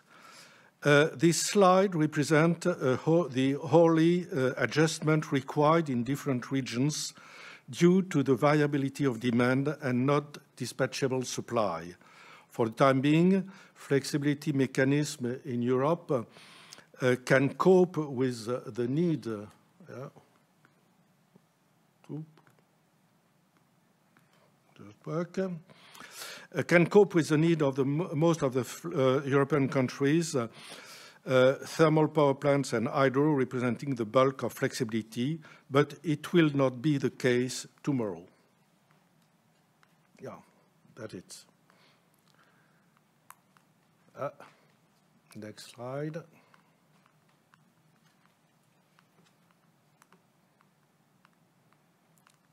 So I will go without the next slide. Uh, in fact, there are uh, uh, huge investment will be required to develop the flexibility of the electricity system. There are different solutions, but no silver bullet. Yeah, you can see the different solutions. Adjustment of conventional production has been employed since the green began, but as a basic response. Uh, interconnection are another solution for the flexibility. In Europe, uh, renewable energy fluctuation may be partly compensated by load balancing. This uh, need for interconnection exists between European countries, uh, but also within each country. Along with the high cost of high, high uh, tension lines, uh, local acceptance is an issue. And for example, in Germany who uh, has a considerable need to connect wind turbines in the north to uh, the factories in the south of the country. But in 2019, it had only succeeded in setting up 36 kilometers of uh, high tension lines. Uh, another challenge is periods of cold and anticyclonic weather of all over Europe. Storage technologies are char characterized by different parameters, energy capacity, the charge and dis discharge time. The potential of uh, technologies are also at different maturity stage. For the storage of large quantities over a long period, the obvious solution is pump energy transfer stations. However, there are limited development potentials the lower cost of lithium-ion batteries make them a solution to compensate the fluctuation of renewable energy and maintain frequency. But their storage is limited at, uh, for uh, only a few hours. Several solutions are considered for long-term uh, storage, but they are still very immature. The costs are very high, and no business model exists for the time being, uh, give, uh, given that price signals on the market are too short-term and too partial to provide any incentive. Capacity mechanisms aim at making up at least part of the lack of long-term signals.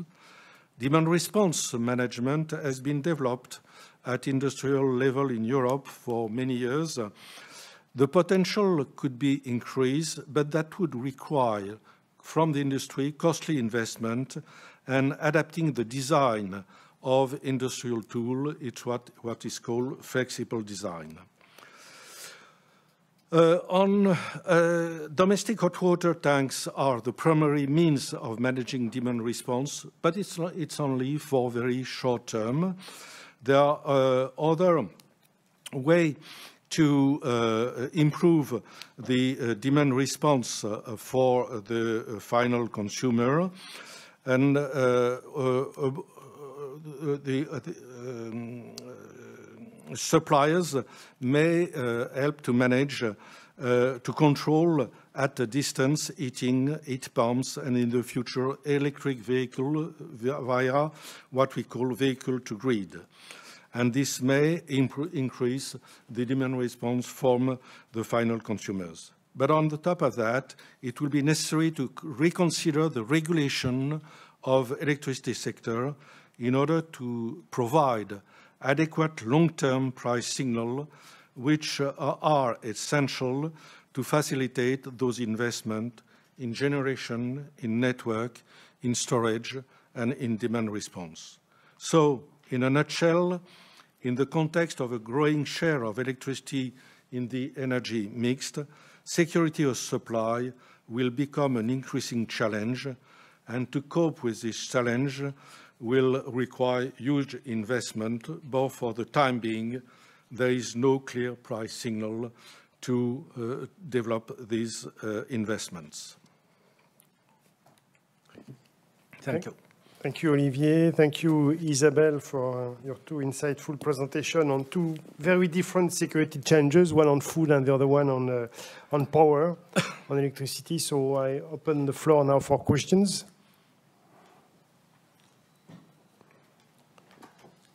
Oui? Uh, I had a question relation, relating to the very remarkable presentation made on food. Uh, you explained very well how one could give enough food to eliminate hunger. You did not address very much the issue of the impact of agriculture on climate change. I mean, as far as I know, it represents about 20% presently of uh, greenhouse gases. Yeah, yeah, that's This percentage should increase over time specifically if meat consumption increases, which seems a trend. And so I would be interested by your thoughts on this issue.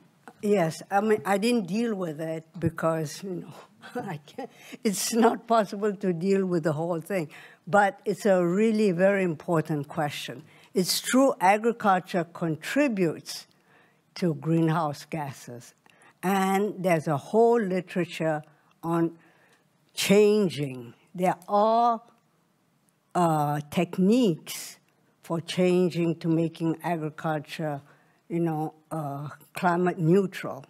But the key thing there is it requires an enormous investment of research and in particular extension to these millions of, of, of farmers. So I mean, you don't want me to go, I mean, there are so many ways of, of doing it, but none of them are easy, really. They're all knowledge intensive. You really have to know your soils. You have to invest in it. It's not like just throw some seeds in and, you know, I just hope for the best. No. There, I mean, soil fertility and soil degradation is a huge problem. And when agriculture is non-productive, people then try to expand the land and cut down forests.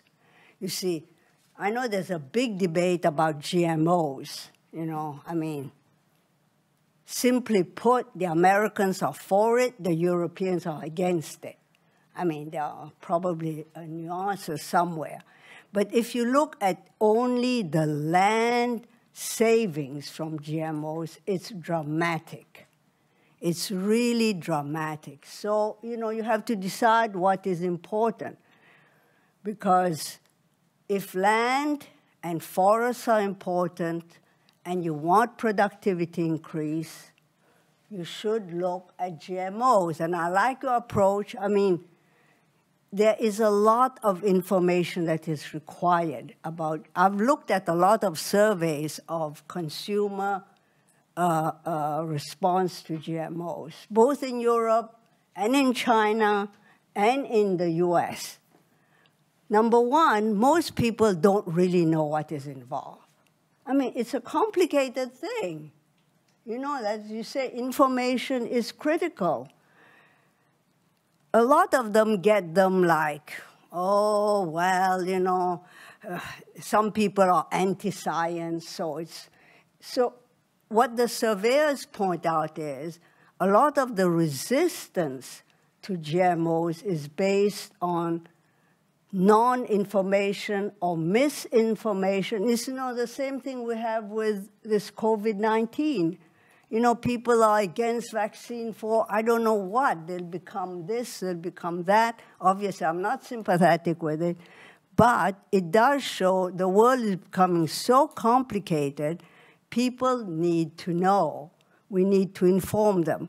So, to answer your question, yes, agriculture does contribute to warming the climate, especially livestock and so some people say the way to do it is everybody become vegetarian. I mean, this is easier said than done, you know? I mean, India is mainly vegetarian. Does, it doesn't have a problem of climate change. I mean, so the, the, the point is we're getting into a world there's no like single silver bullet. Only do this and the world will be fine. You, like Peter Timmer shows and like all research, you need so many things to line up. And that's a difficulty we, we face. We need a lot of information. We need collaboration. We need people to understand. You need people to work together. Sometimes, frankly, I am a little pessimistic whether we can make it the way we're going. Requires, so that really, I mean, from an economist point of view, the way we look at it, we need to have incentives for people to do. You're not going to command people to behave properly. That just doesn't work, even if you're authoritarian. I mean, I looked at the survey in China on GMOs. China is very pro GMO because it's a land scarce economy and it believes in science. So the government has invested a lot. But guess what? When it comes to survey, a lot of people are against it. So what do they do? You see, they did not make the effort to explain to people, to get people adherence is like, do it because I tell you so. Well, you know, people will buy what they want to buy. You, you cannot force them. But that's just one instance of changing the technology to be climate compliant or climate friendly or climate resilient. And we didn't talk about the problems of climate change, you know, all the, the floods and the droughts and the landslides, which is really emphasize that technology transfer is critical. But technology transfer is not in a vacuum. People are starving. They don't care about climate change. They're going to die tomorrow. What's the problem with climate change? That's, you know, 10 years from now, I'm dead already. So, you know, now we're faced with these really what's called wicked problems. We are, we've been pushed in a world in which things are becoming more and more complicated and people are getting more and more assertive, rightly so. It's not a matter of blaming people, rightly so. So, you know, if we want to do something, we really have to relook our incentive system. Incentives do work. We know everybody wants to be better off. It's, it, it doesn't matter what religion you are, whether you're a man or a woman or whatever. Everybody wants to be well off, better off. I mean, the poor are the first people who really want to be well off. Give them the incentives and then give them the tools to help themselves. Because now once you talk about that, you see it's an expansion of government now.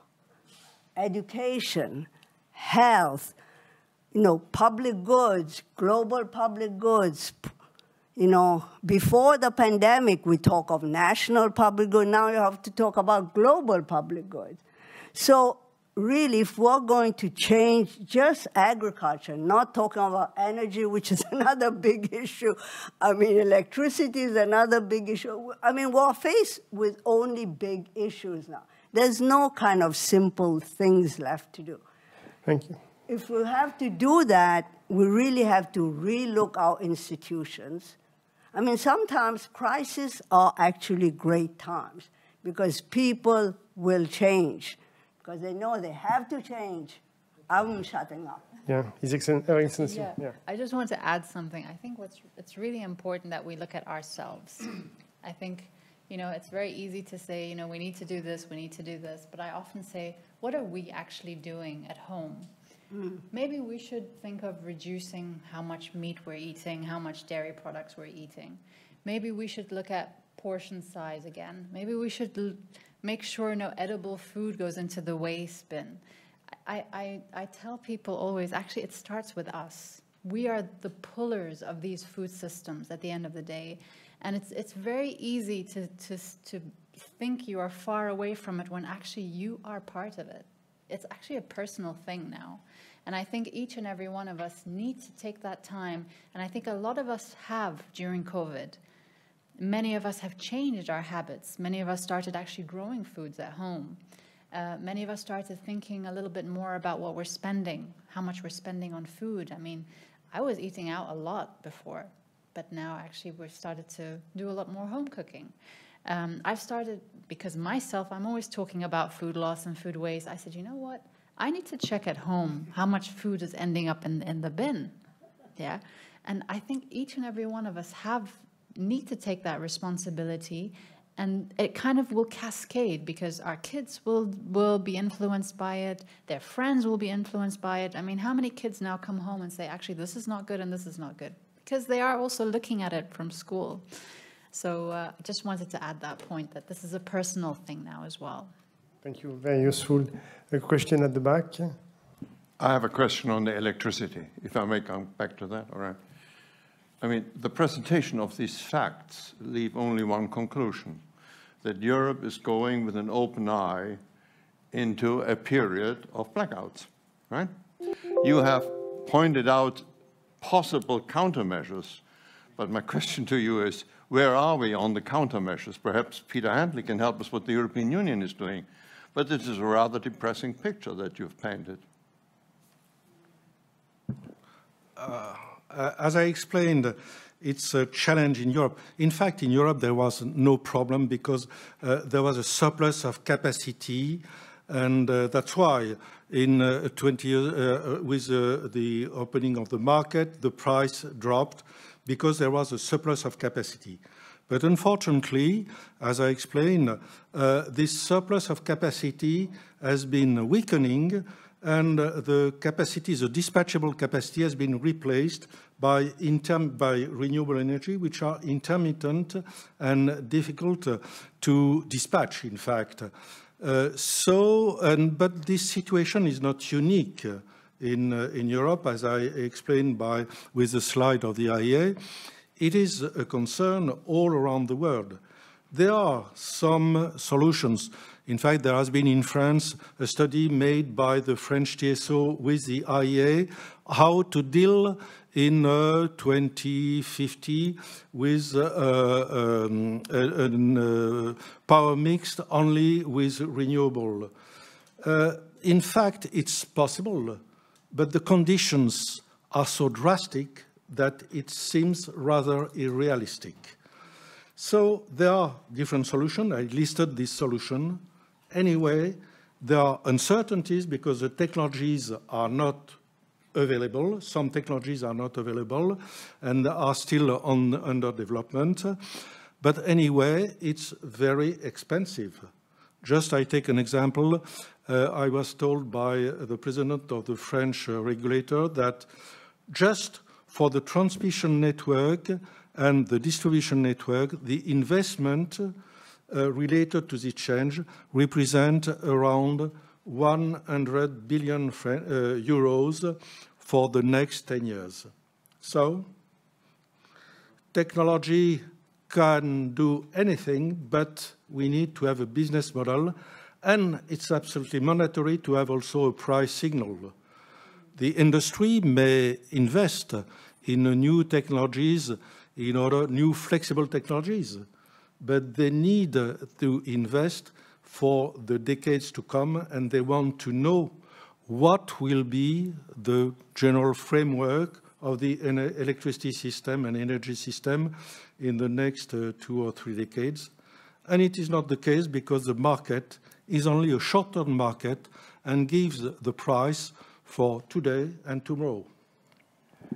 Thank you, Olivier and Isabelle. So I, I, I think Peter would like to, to contribute, but I, if I may suggest for the sake of time that uh, you, you go ahead with your presentation uh, and, and, maybe complement uh, at that opportunity what has just been discussed on electricity uh, shortage uh, or reliability supply, in fact, and, and then uh, Marc-Antoine, if you want to, to comment, and we'll try to wrap up with the, the, the Q&A session. So Peter, the floor is yours. Yeah, thank you. I'll start with that because let's admit it, we have a problem. We have um, very high energy prices in Europe at the moment. Gas is three times higher than normal. Excuse me, I've lost my voice. We have a problem. Um, in fact, the European Council will be discussing this uh, next week, and the Commission is putting a paper on the table. Um, it's, it's very worrying. Uh, it's also very worrying that this wasn't anticipated better. Uh, so you're quite right on that respect. Um, gas prices have gone up threefold, and um, the, uh, the electricity system, of course, is based on marginal pricing of the most expensive uh, thing in the system, which is usually the fossil fuels. There's also been other factors like Russia only fulfilling its contractual obligations, uh, lowering of storage capacity when uh, normally you'd be filling it up, and the failure of an interconnector between the UK and the continent of, of, of Europe. Um, this is having real effects. There's a real effect on households, and there's a real effect on uh, industry, particularly, I'll give you one example in Europe. Uh, fertilizers are shutting down, they can't afford to run. That means they're not producing ammonia, which means there could be a shortage of uh, fertilizers for farmers next spring.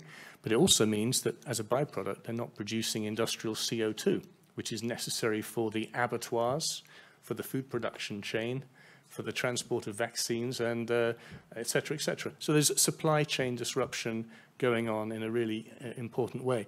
And it's not unique to Europe. Um, it's not the fault of the CO2 price. It's not the fault of market design. It's happening in China as well. China, coal prices have gone up 56% this year, and the governmental authorities have just turned off the switch to about 40% of the country's energy-intensive industry to um, avoid shortages. And one of those industries they've shut down with no notice is the magnesium industry, which means that uh, just two days ago, our European aluminium sector said, oh dear, we have six to eight weeks stock of magnesium, and if the Chinese don't uh, start producing again, we will have no ability to produce magnesium, uh, produce um, aluminium for the car sector. So one sector's impacts upon another. Um, as I say, this will be discussed at the European Council. I'm not going to speak at length about the vision because I think everyone here is familiar that we have uh, we have a European climate law which locks us in, legally speaking, to the targets for 2030 and 2050, and we've tabled the legislative proposals and the um, financial programs to accompany that.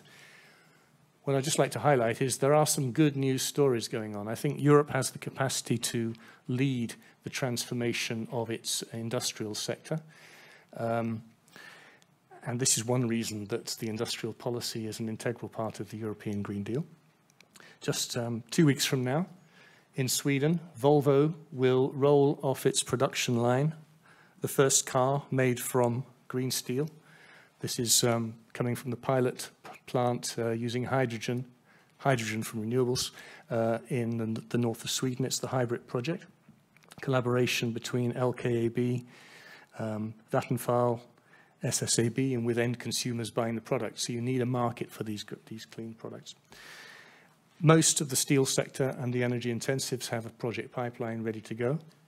And, uh, and my team is managing the European Clean Hydrogen Alliance, which has um, collected, uh, one of its tasks under the hydrogen strategy is to develop a, a robust pipeline of hydrogen projects throughout the value chain. We've got uh, over a thousand projects which we're currently evaluating and will present to the uh, Hydrogen Forum in November. And we're also sitting down and talking to the European Investment Bank to see how we can we can finance these things where the, the bank has a role to play and European funds like InvestEU can be deployed. Thank you. Thank you, Peter. Maybe Marc-Antoine, on, on governance, you wanted to give us a few highlights. Yes, thank you so much uh, uh, to all. The, um, I have one slide perhaps uh, to show, if that's possible. Yes. Uh, you may see it right now, exactly. Um, so we are just a few weeks uh, before COP26, and what you see on this slide is the NDCs that we have lined up to the same baseline because everybody now talks about different baselines, right? So it's very easy to say, oh, I'm, I'm, I'm you know, I'm reducing my greenhouse gas emissions by 50%, But if you take uh, a, very uh, different baseline, maybe it can even mean you can increase your greenhouse gas emissions. And we've seen a lot of smoke screen, unfortunately, uh, from several countries. But the point is the following. Um, so the UK and the EU are the most advanced in the world. Then comes the US. And then, very regrettably, within the OECD family, you have uh, Japan, Canada, and especially Australia that are really not committing enough. And then, of course, you have the rest of the world, which is a different case, and the emerging economies, etc. But the point is, I think, uh, if you allow me uh, in, in the next few minutes, what I'd like to outline, you know, is what we should achieve uh, over the next two years, and bearing in mind we now have COP26, and what should be achieved within the next five years, uh, knowing that we are uh, not on track to uh, peak our greenhouse gas emissions. Actually, this year will post a record high level of growth in greenhouse gas emissions. The world is just uh, turning on everywhere. It's uh, coal-fired stations and having run at, much higher utilization levels than what we used to see. Um, and, uh, and of course, uh, we know since 2015 that we should reduce our greenhouse gas emissions uh, by quite a sharp level every year, and ever since they have been growing. So we have a huge uh, challenge here. So, so my first point is really, I think the OECD family uh, has to get its house in order, and we need to have Australia really uh, increasing its national determined contribution. And I, I'm turning to you, Minister, because if the UAE can do it, as a as a as a large fossil fuel producer, then I think Australia can should really do it, and I think that will be one of the major tests of uh, President Biden's um, climate leadership aim. If he doesn't get Australia to sign up to a strong NDC, then I think the the the, the AUKUS uh, uh, deal will will come into much different light. I mean, clearly, climate is much bigger threat than China is. The second point is. Um, we need to ramp up climate finance, uh, and, and, indeed the 100 billion benchmark must be reached. It is obvious that the more we now decarbonize in Europe, uh, the higher the CO2 abatement costs are in Europe.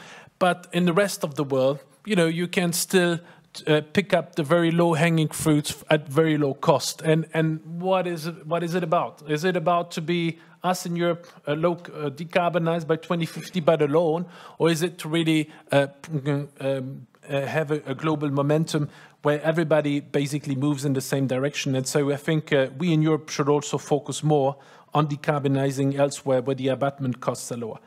The third point is um, you know, in Europe these days, uh, and that might be interesting to you here, uh, we are talking a lot about how bad gas is. But the real enemy in the world is still coal.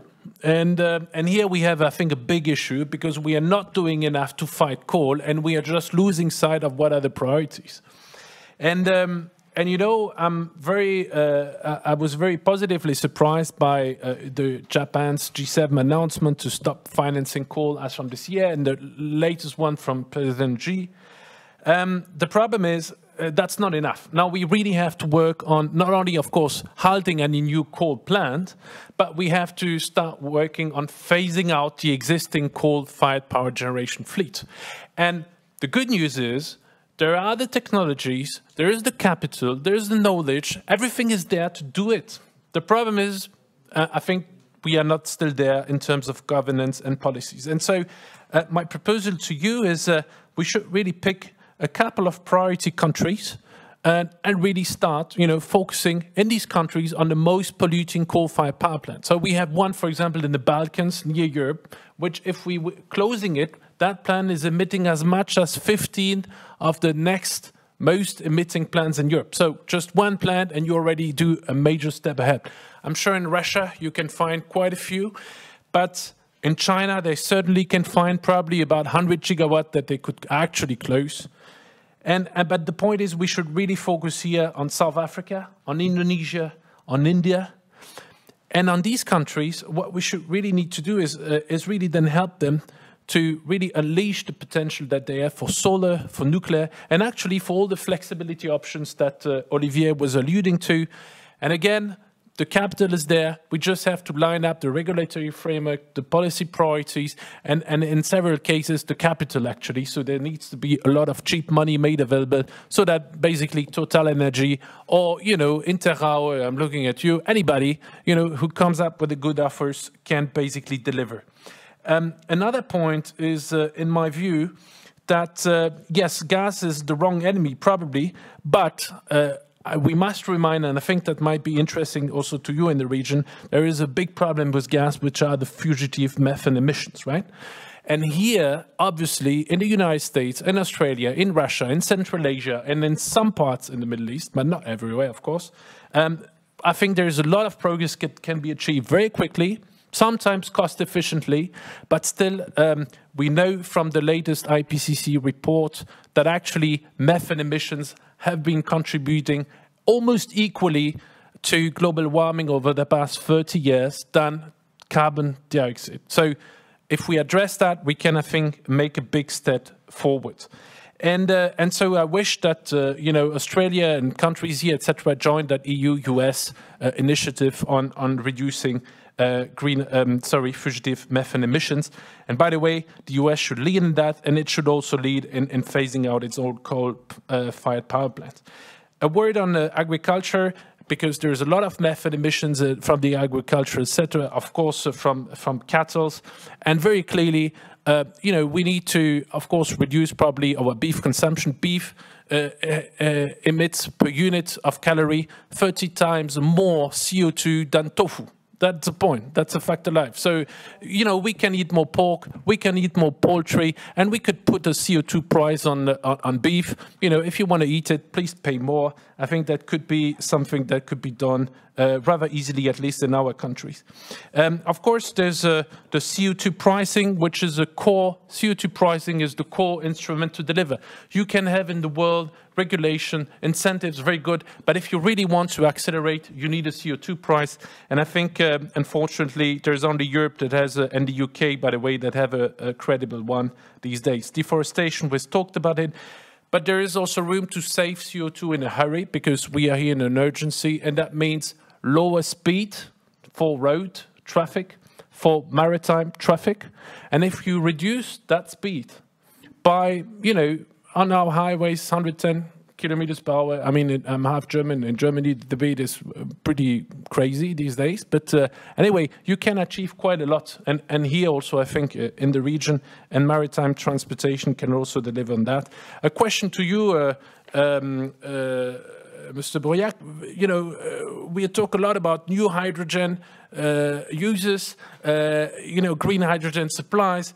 By but why don't we unite forces within the G20 countries and their economies to probably start, you know, greening the hydrogen that we already use and which you were hinting at, and for example, set us a target that by 2030, for example, in our refineries around the world, you know, we try to incorporate at least 30% of uh, green hydrogen, and of course that will make the gasoline more expensive, but then if there is probably less taxation on that, maybe, you know, that can be afforded. And in any case, uh, gasoline prices will have to rise for various reasons. Um, I think within a five years framework, and I'll, I'll end with a couple of points. Clearly, we need probably to roll out about 1,000 large-scale CCS projects in the world. And you have one very nice one here that is being developed. You have one in, in Norway, but we need thousands of them thousand of them by 2030, and uh, and and actually looks a lot, but it's possible. Uh, we need clearly the green finance to to get its act together.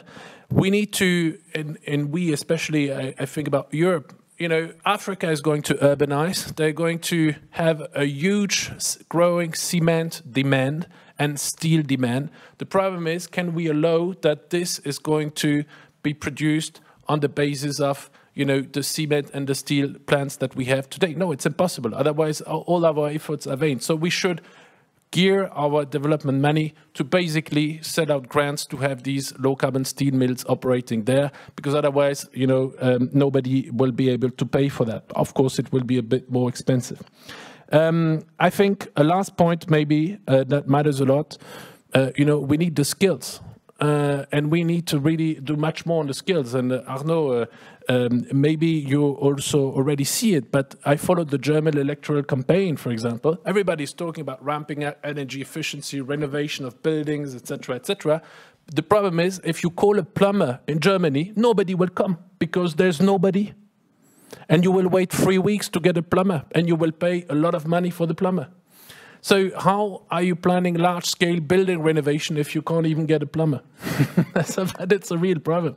And so everywhere in the world you're facing an affair, of course, that requires very specific uh, responses, but obviously that has to be lined up with the rollout of the technologies that are coming.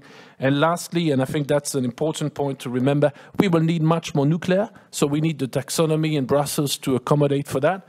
I mean, it might sound very strange for you uh, here, um, but uh, indeed, in Europe, uh, there's uh, strong forces that want to stop nuclear when we know that we can't roll out enough renewables, and we know that without that, we can't really reach our decarbonization targets. So I think that will be uh, also already a major, major achievement. And, you know, there's still fossil fuel subsidies everywhere, including here and they need to be removed. Uh, that's a long-standing issue, but uh, you know that's kind of the basics of decarbonization, and uh, I hope progress will be made there. Thank you for your attention. Okay, thank you, Peter and, uh, and Marc-Antoine. Um, uh, unfortunately, I've just been told that we really had to close down at uh, 7 p.m. It's already quarter past seven, so I'm afraid we're not going to be able to take any questions, but I will not dare to wrap up on all of the very dense and, and, rich presentation that have been made. I think the dominant point is clearly about urgency. it's one word that was used, and also knowledge, skills, that is important, technology, uh, very often people are afraid without knowing, so that, that's quite important. So I would like to thank all of the presenters uh, for uh, uh their uh, contribution to this uh, workshop and all of the questions that have been asked. Thank you to all of you, and I wish you a nice conference.